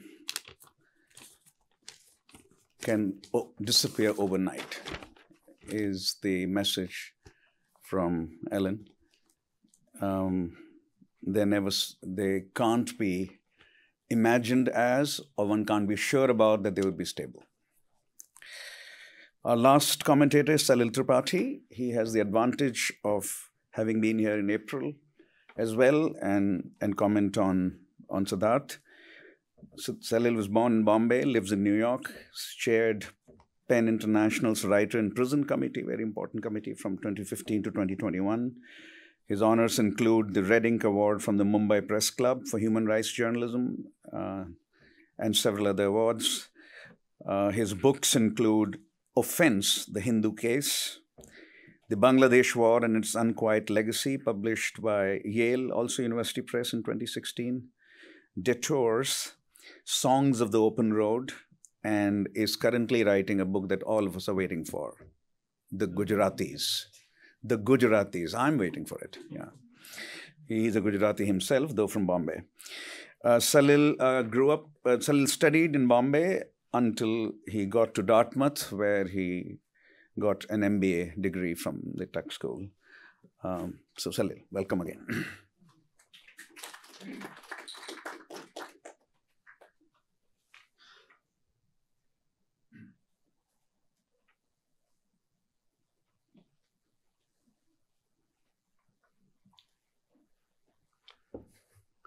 The advantage of being the last is that a lot of what you want to say has been said by other people before you. So I won't repeat what they've said. The disadvantage is that I'm standing between you and a nice glass of wine or tea or coffee. So I'll try to be brief at the same time. I'll do my best. But I do want to, like everybody else, and this is not a roast for you, Shekhar, but I do want to start by thanking Shekhar for being an exemplary colleague of mine uh, and senior, slightly senior to me, a few months here or there. Uh, but uh, at India Today, there were many outrageous and ridiculous story ideas I would come up with. And he was one of the few senior correspondents and principal correspondents or editors later who saw the value in the story and backed me. And India Today was like India, right? In the sense that Delhi controlled everything, and I was in the boondocks. And boondocks was Bombay, but still, for them, it was boondocks. And, and he still backed me up. So thank you for all that you did. I have some great stories which I can. Among the many, many errors I might have made. and and he has given me some great sound bites, which I will say after three or four glasses of wine. But I'll wait for that. Yeah. You know, he Shekhar walks the talk. I mean, he makes others walk the talk. But journalists in India, sadly, were once asked by L.K. Advani, for those of us old enough to remember that L.K. Advani used to be at one time the Information and Broadcasting Minister of India soon after the emergency. And he told um, the Indian journalists soon after that that you were asked to bend and you crawled. Right? And I recently wrote a piece for the Roundtable, which is an academic journal about Indian media at 75, because everyone writes about India at 75 these days. And one of the things I said was that these days, if the Prime Minister or anyone from his office, like Uday Mahurkar, our former colleague, who's now the, one of the spokespeople in, in, in, in the government hierarchy, if he were to say, um, you know, jump a lot of the TV network reporters, with a few notable exceptions like Ravish and a few others, will say, How high, sir? That's where we have come. And, at, and in such a context, Shekhar walks. He doesn't jump when someone asks him, and he doesn't crawl. So thank you for being who you are. The most embarrassing thing I've seen about Indian media is this image, which was I think 2014 or 15. I, I mean, I've not been in Delhi for a long time, where there were the 20 or 30 journalists stood with Mr. Modi to take a selfie and literally craning to be in the photo as though they were being next to, I don't even know the Bollywood actresses. So I'll go with Madhuri Dixit. But I'm sure there are, you know, more important actors today going on. And it was embarrassing. I mean, it was genuinely embarrassing, but that's what Indian media has come to of being close to power, of, you know, I mean, Shekhar spoke about the need for media organizations to have a public event like a conference, and the conference only succeeds if Mr. Modi or Piyush Goyal, one of the top minister, comes, and if they don't, that's the death knell, and it's also the termination notice for the editor, because that's the sub subterranean message in that. We need to know that. But I don't want to talk too much about democracy. We're talk, here to talk about media, so I don't want to go into in the democracy part. But I do want to, because everyone's talked about the V-Dem and the Freedom House and and and the Economist and all of the surveys that have come out about India. When I went back from Dartmouth to back to Bombay, I remember uh, there was a U.S. diplomat who lived at Altamont Road. I lived at Kemp's Corner, close enough to me. I went up to meet him one evening and. Uh, he said, You know, your party is over. And by your, he meant India's party is over. I said, What do you mean by that? He said, You know, you, you this was 1988. Uh, Berlin Wall was still there. Václav Havel was still in jail.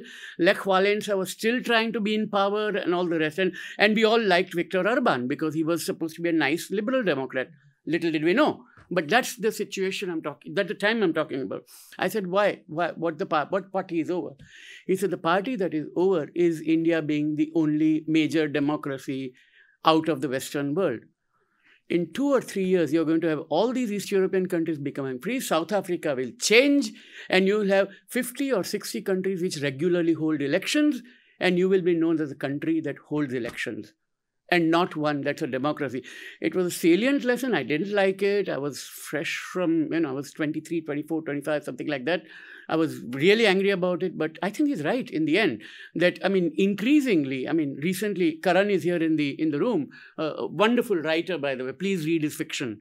Uh, and non-fiction, of course, but but he he recently participated in this project we put together on India at 75 for Pan America, where writers like him and Salman Rushdie and Jhumpa Lahiri and Romila Thapar and Perumal Murugan, you name everyone, they were all there basically lamenting what has become of India. Uh, and it was, again, I want to touch that because I, I know that we've all talked about that this is not a Modi problem. It is probably an Indian problem. And yes, but the intensity is different. As, as you know, Ellen was saying, the rules are changing. And I think the system is system wants a different set of ways in which we look at look at these things. And, and that's exactly the point here that we, we want to get out of this so called whataboutery problem. You know, Shekhar is absolutely right when he talks about the fact that nuance is not possible on social media. And it's true. There is no nuance on social media, and therefore the immediate response to anything you say is what about? So when some minor BJP politician says something really nasty about Muhammad, who many Muslims revere as a prophet, at, at that time, and, and half of the Middle East want to shut off India, they say, but what about Salman Rushdie? You defended him. Why can't you defend her? But there's chalk and there is cheese, right? And I think we do need to bear that in mind that, you know, all expression is not art, but all art is expression. And I think that nuance is getting less lo- lost right now. And we are reaching a period. Of course, Congress had a terrible record. You're absolutely right that the laws by which journalists are being persecuted today in India were probably set in 1924 with the Sedition Act. The laws by which people are being threatened in India came a long, long, long time ago. And yes, and Chidambaram, who's a victim of these laws, is an architect and a perpetrator of some of these laws. So, you know, I have no sympathy for those who went ahead. But that's no comfort to Siddique Kappan. That's no comfort to Gauri Lankesh. And that's no comfort to any other journalist or writer today in India who faces threat to be told, oh, it used to be much worse. So what? That's not the point. The point is there is a battle today that needs to be fought, fought aggressively, and again fought on facts. I think the crucial thing is to remember where the facts are and where the truth is. So I'm, I'm no fan of the regime that went by. I mean, Shekhar will remember when we were at India Today together. India Today, by the way, was the first magazine to mention satanic verses. the first magazine to actually run excerpts from it, and the first to write an editorial criticizing the ban. And again, I have to thank Shekhar and T.N. Nainan, who were bold enough to let me, a mere rookie reporter, to write that editorial. Because editorials were written by Nainan, Dilip Bobb, Prabhu Chawla, and Indrajit Badwar. Us reporters never had the unwashed masses. We were the unwashed masses. We never had the chance to do that. But I did want to write it. I asked Shekhar, can I do it? He said, see what you can write, let me see. And he helped me there. So, I mean, so this is not, a, you know, uh, but I, I thought I should bring that in. And he's absolutely right that Modi did not create Nellie or Delhi. But what I did not see in his talk, and I hope it was only out of uh, uh, out of you know not a design. It was it was it was a matter. Was any mention of Gujarat of 2002? Modi was in Gujarat. Either he was incompetent or he perpetrated it. Either he was incompetent in not handling it right, and lots of people have written about that, or he was actually a perpetrator, which lots of people have been alleging and not winning the cases in the Indian in the Indian court system. So I think we do have to remember that he doesn't come with a very clean record, untouched by the past. He has a huge record that he needs to be answerable to. Again, uh, Shekhar mentioned Hashimpura. I'm so glad he brought it up. But who was the judge who gave the judgment about it? Justice Muralidhar. And what's happening to him today? He gives one judgment against Anurag Thakur, I think his name is, one of the BJP politicians. He was shunted immediately to Punjab. Within two weeks, before things get worse in Punjab, he was shunted to Orissa. And now he's about, he was about to be named in, in the presidium to be a judge, a High Court Chief Justice, which is the acme of his career, as it would be, because he can't anymore go to the Supreme Court his is the only name not accepted by the government. Now, these are the questions that are coming to the fore precisely by the people like Gautam Bhatia, you know, who writes this wonderful blog on law, on law, which I would strongly recommend to anyone interested in Indian law. law. But none of the mainstream media really picks it up. Scroll does, Wire does, and so on, and, and so would print, but not the others. So, yes, and I, I agree with you. So, I'm, I'm told I've got two minutes. I know we have questions, I'll be very quick. The misuse of penal code, terror, and tax laws is true. I agree with you completely. The noise of the lynch mob is very, very nasty. And the Indian media crisis goes beyond Mr. Modi. Mr. Modi is the personification of what could go wrong. It's as if Indira Gandhi was really efficient in a way. That's what Narendra Modi is all about. You know, I've, I've always said that if Sanjay Gandhi were prime minister, he would have been Narendra Modi today. And, and that's where we are. And I think we do need to bear in mind. One minor point yes, you were absolutely right, Shekhar, in praising Indian Express in the 70s. But I would also want to praise the Statesman, not just during the emergency, but even before that, uh, in challenging things like the bank nationalization and so on, because of its Tata connection. Let's be honest about it. The big challenges are fake news and so on. You mentioned Hicky. I would also want to mention Horniman. Uh, the, without him, we would not have known Jallianwala happened. And there's a circle named after him in Bombay. Last few points, uh, points and this goes back to Sadanand's point. Uh, the right wing does not talk about liberal principles because they don't find them desirable. They don't like them. They claim to be classic liberals and they claim to take on the persona of you know economic right wing and so on. But they're not really like that because modi government is extremely statist it bans currencies when it wants to it it has crony capitalists to whom it gives assets and there's not, not a word. So it's they're not really liberal in the classic sense. That's that's all i would say. And finally finally i do want to shout out scroll print article 14 wire the Pari Network, and Khabar Lahariya for doing excellent work. And the fact that they are all online and not in print is a very important question. And, and finally, uh, my very final point that, you know, you talked about the darkness and dawn. All I can do is that, you know, is this the darkness before the dawn? I'll quote Brecht, who said that, you know, it is dark times. Will there be singing in the dark times? Yes, there will be singing, but about the darkness. And I'll, I'll stop there. Thank you. Um, one sign of how interesting uh, this panel and uh, inspired by Shekhar's terrific lecture is that I'm going to announce right now that we extend our meeting by 15 minutes. So we are say we because we need the audience involved now, right? So let, let let's do the Q and we'll go on until 4.10, 4.15, and then we'll break for our reception. Okay, is that okay, Stephanie? Well, I know she is. So, uh, who will start? Introduce yourself, please, and, and tell us uh, who the question is addressed to. Yeah, so uh, I'm Shreyas. I'm an undergraduate studying uh, computer science. I'm a junior here, and my question is addressed to uh, Shekhar, Mr. Shaker. So, when you talk about digital media, especially platforms like Facebook, YouTube, Twitter, and all that, the algorithms there, like you know, th- that recommend me my, the content I want to watch, rewards rewards polarization, and you clearly mentioned it when you were speaking, right? And I feel that I have significantly less agency over what I'm consuming uh, these days, uh, especially on like when I'm consuming news, specifically information. So it's more about who has the best social media optimization than the content itself, which was apparent from the examples you had given. So, how do you tackle that as a digital media agency? And we collect three questions. Okay. then- then- Who will go next? Tiara, introduce yourself. Hi, I'm Tahara. I am a master's student in the public affairs program here at Brown. Uh, my question is also to Mr. Shekhar. With the rise of India's anti Muslim rhetoric, which is fueled further by Modi's Hindu nationalistic agenda, what does, in your opinion, the future of media look like for Muslim journalists on the ground like Rana Ayub and other Muslim journalists? Okay. Somebody else would like to? Okay, let's. Uh, so we can start with you. Uh, uh, let's follow the the, the following uh, rule. Let's let's have you speak uh, either to these questions first or to the three commentators.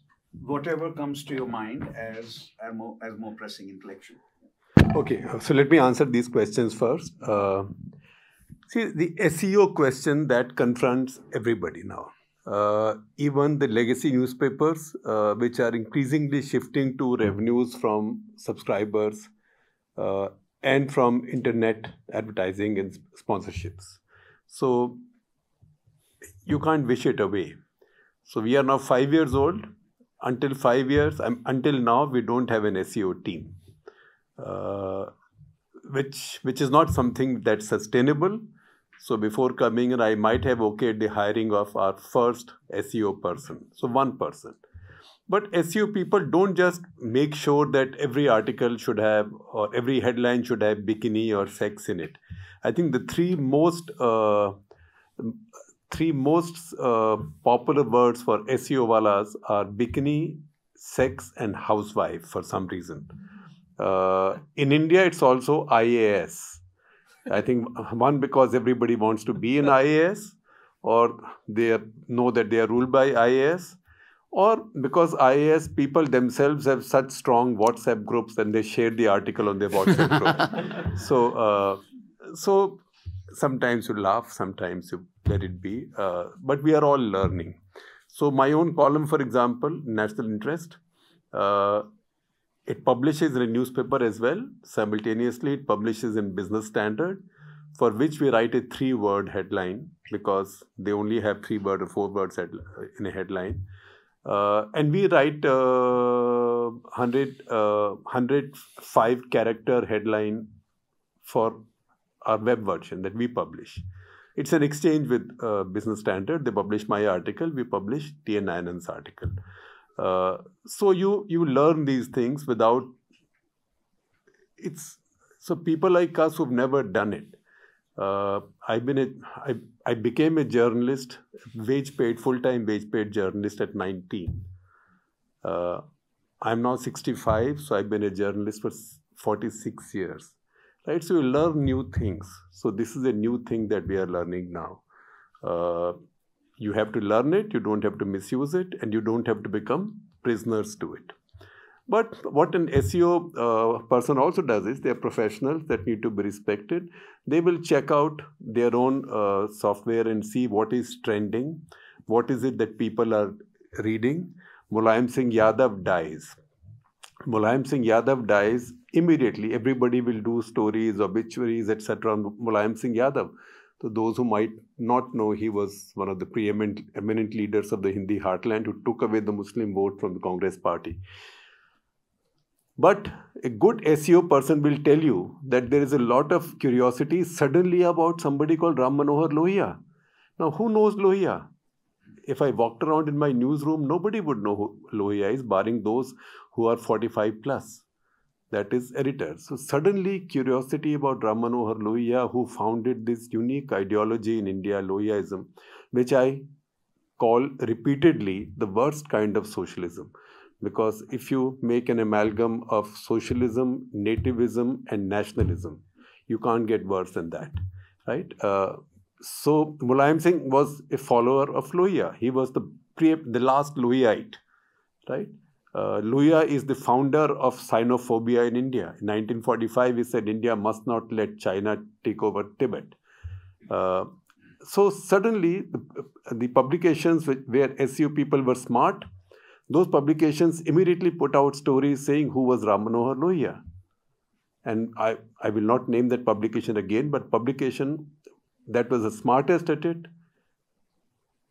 got the traffic. So I say in my newsroom that you know you have to be quick with stories, you have to spot trends, what is it what is it that people are interested in, because early bird catches the worm.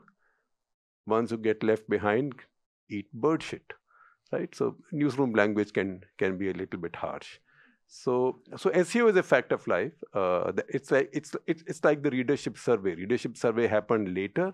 SEO happens in real time. So that's one. Second is uh, Muslim Muslim journalists uh, Muslim journalists who work for uh, institutions. Uh, they'll be okay. Uh, they are okay. In fact, some of them are the best journalists in India. Uh, we had one, we, we have several, but particularly one who we lost to another organization and really miss her. Not because uh, she's gone to another organization and you know she's Muslim, but because she was among our brightest young people. And I thought she could have done a lot more with her journalistic skills than just being just doing advocacy. Uh, so, uh, so that is fine.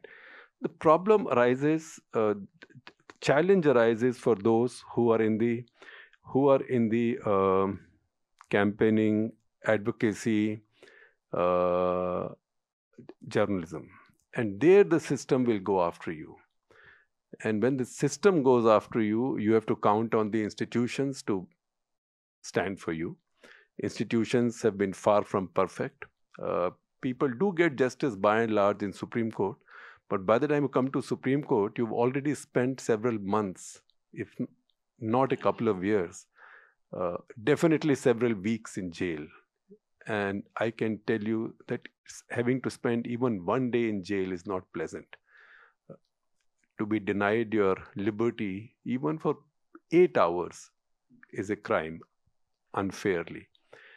And those threats persist. Fortunately, so far, uh, it hasn't gone to that level, but it might at some point of time. As we speak, uh, government has filed uh, fairly serious uh, charge sheets against uh, Rana Ayub. And this is under PMLA, an act where bail is very, very, uh, very difficult, and where you are guilty as charged. Un- the default principle is that you are guilty as charged, right? So, uh, and and this will target not just only not only Muslim journalists. This will target especially all of those who are activists in the activist slash journalistic space and who are who are not who are not embedded in institutions because institutions if nothing else pay your legal bills uh, they pay your legal bills, they defend you, uh, so on and so forth. So those are the two, two questions. Can I, just um, uh, say here that you seem to be once again drawing a distinction between uh, journalism as advocacy versus journalism as reporting right well i and you're you saying you're saying muslim journalists who are reporting within institutions they're doing fine, but Muslim journalists who become advocates or are in political activism are in danger. Is that what you're saying? Not just Muslim journalists, uh, but I think anybody, Muslim journalists get targeted even more and we, more viciously, particularly if they are women. They are targeted. Women, women journalists anywhere ta- get targeted much more viciously on social media. Uh, Muslim women journalists, even, even more so.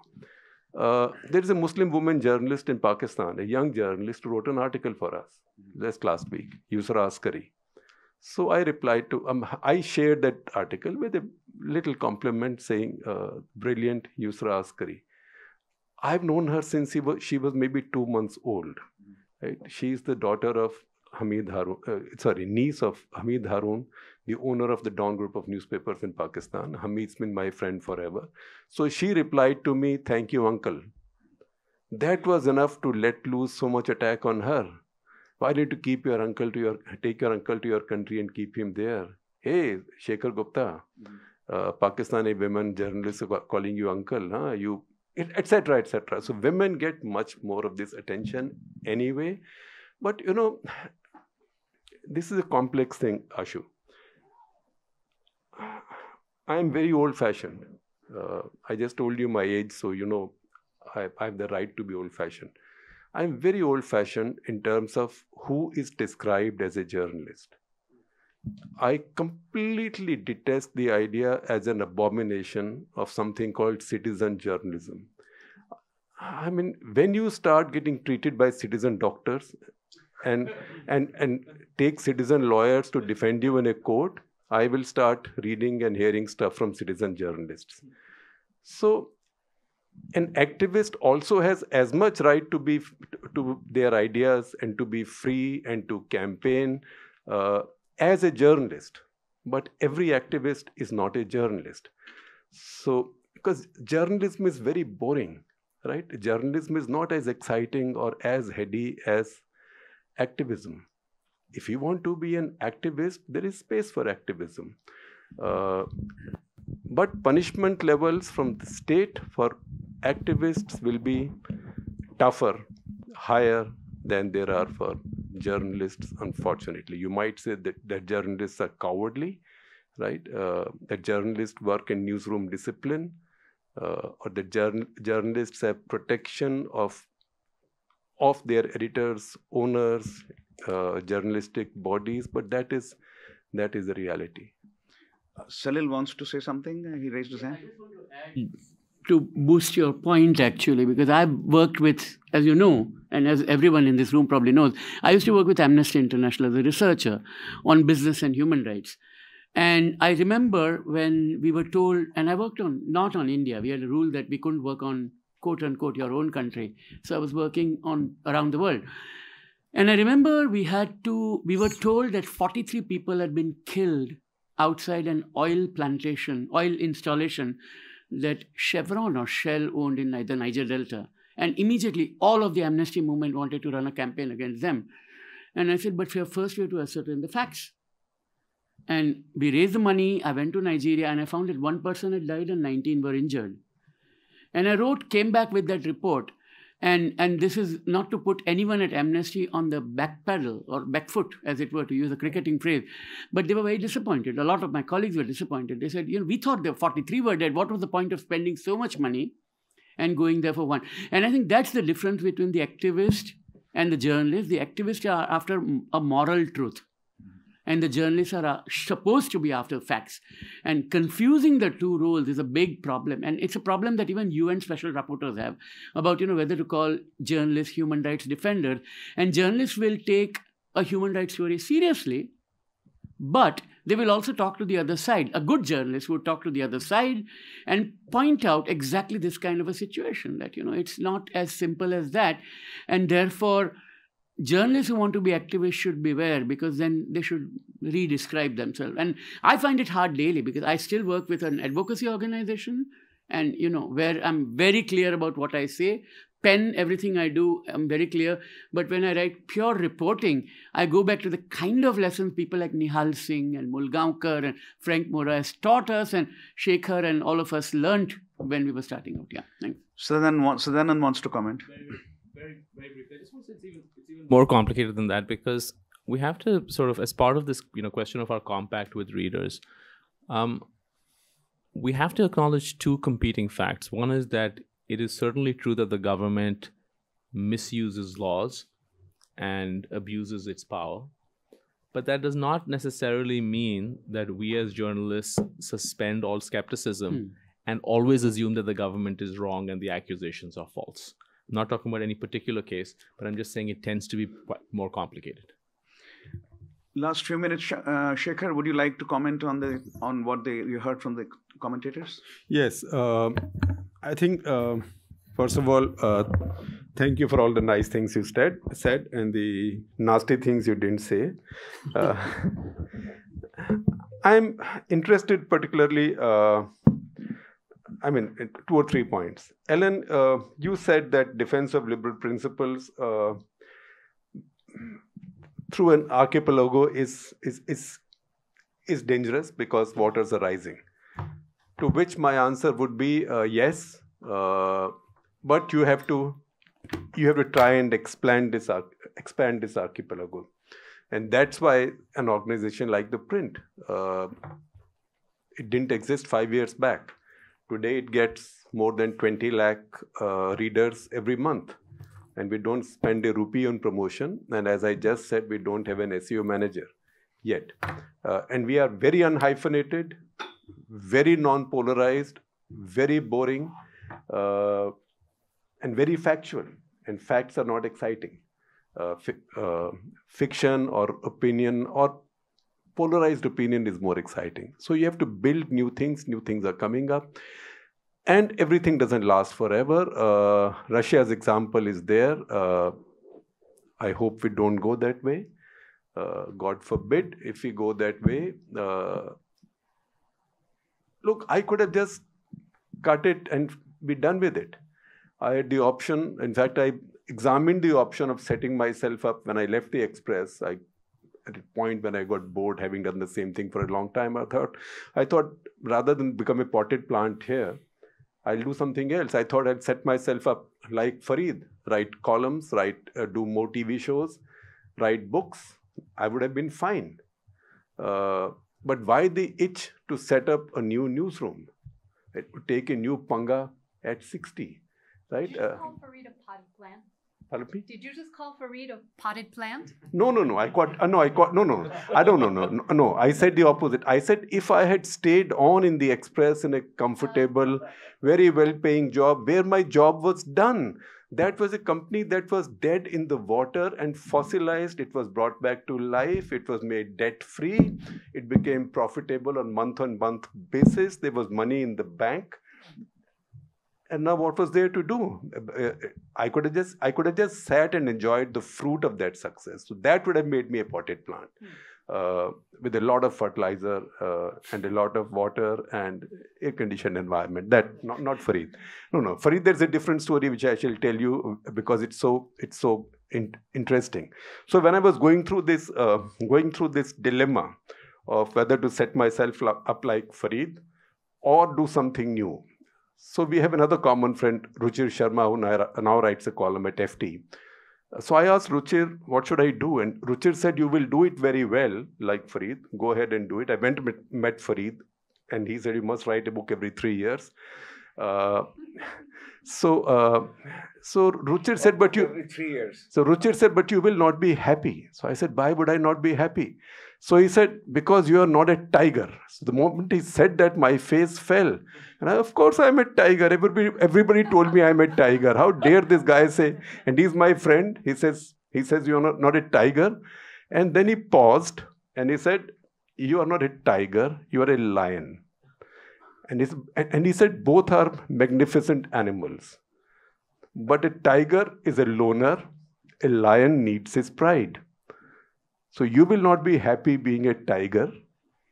You need a pride. So set up a newsroom. So I said, all you're trying to tell me that I'm a lazy old bugger who who should set up a newsroom, right? Uh, and and have people uh, bring me the uh, bring me my shikar and my lunch and dinner, and I enjoy myself.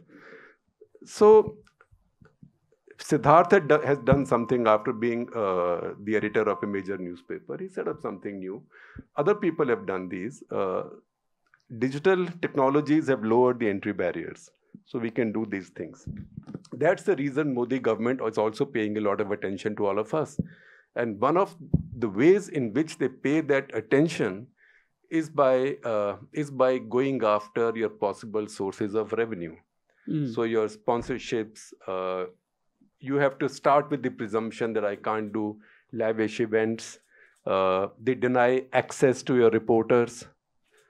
This is guerrilla warfare. They deny access to your reporters. You send your reporters to the field because there they can't hide what's happening. So this is this is a warfare that goes on. It's a good warfare, and I think uh, as long as it does it doesn't get too nasty, you can you can manage it. That's one. The second is second is I think two speakers mentioned that uh, mentioned that uh, India's right wing does not have any defense of classic liberalism. That's because India's right wing intellectuals never came up. And a lot of the blame for that lies not only with Congress governments, which 1969 onwards, as Mrs. Gandhi made her hard left shift, emptied emptied all her campuses of any thinking which was not the establishment hard left thinking, uh, JNU included. Uh, so India did not produce a Niall Ferguson. Uh, there was no space for any of those. So India's right does. I'm sorry to say that India's right does not have intellectual firepower. So so India's right asserts itself on Twitter. Mm. Twitter was made for India's right, right? Uh, Twitter and now WhatsApp, and and that's the reason. That's the reason a lot of this WhatsApp propaganda, revisionist history is now working. If the, India had real scholarship on the right, some of this would be questioned. That is the other one. Third, who said uh, Madhuri Dixit? I did. Yeah, Madhuri My Dixit. age, you know. Your age. So I think you, if you had mentioned Madhuri Dixit, you would still be right, because at this moment she is the most discussed, she's the most watched, uh, she is the most trending actor. Because of her, because of her new teleserial, please watch it. OTT Maja Ma, Majama, which is which is where she acts in a lesbian relationship All right. right? Uh, and th- and this is among her best performances. She's amazing. I wrote the India Yeah, Today so- cover on her. Yeah. So yeah. so so that was a long time back. But if you had stuck with your first love, you would have you would have still been okay. okay. Thank you. It's time to um, bring this uh, session to a close. And uh, but before we do that, uh, let's thank Shekhar, Ellen, Sadanand, and Salil for providing a wonderful Friday afternoon, a very stimulating Friday afternoon.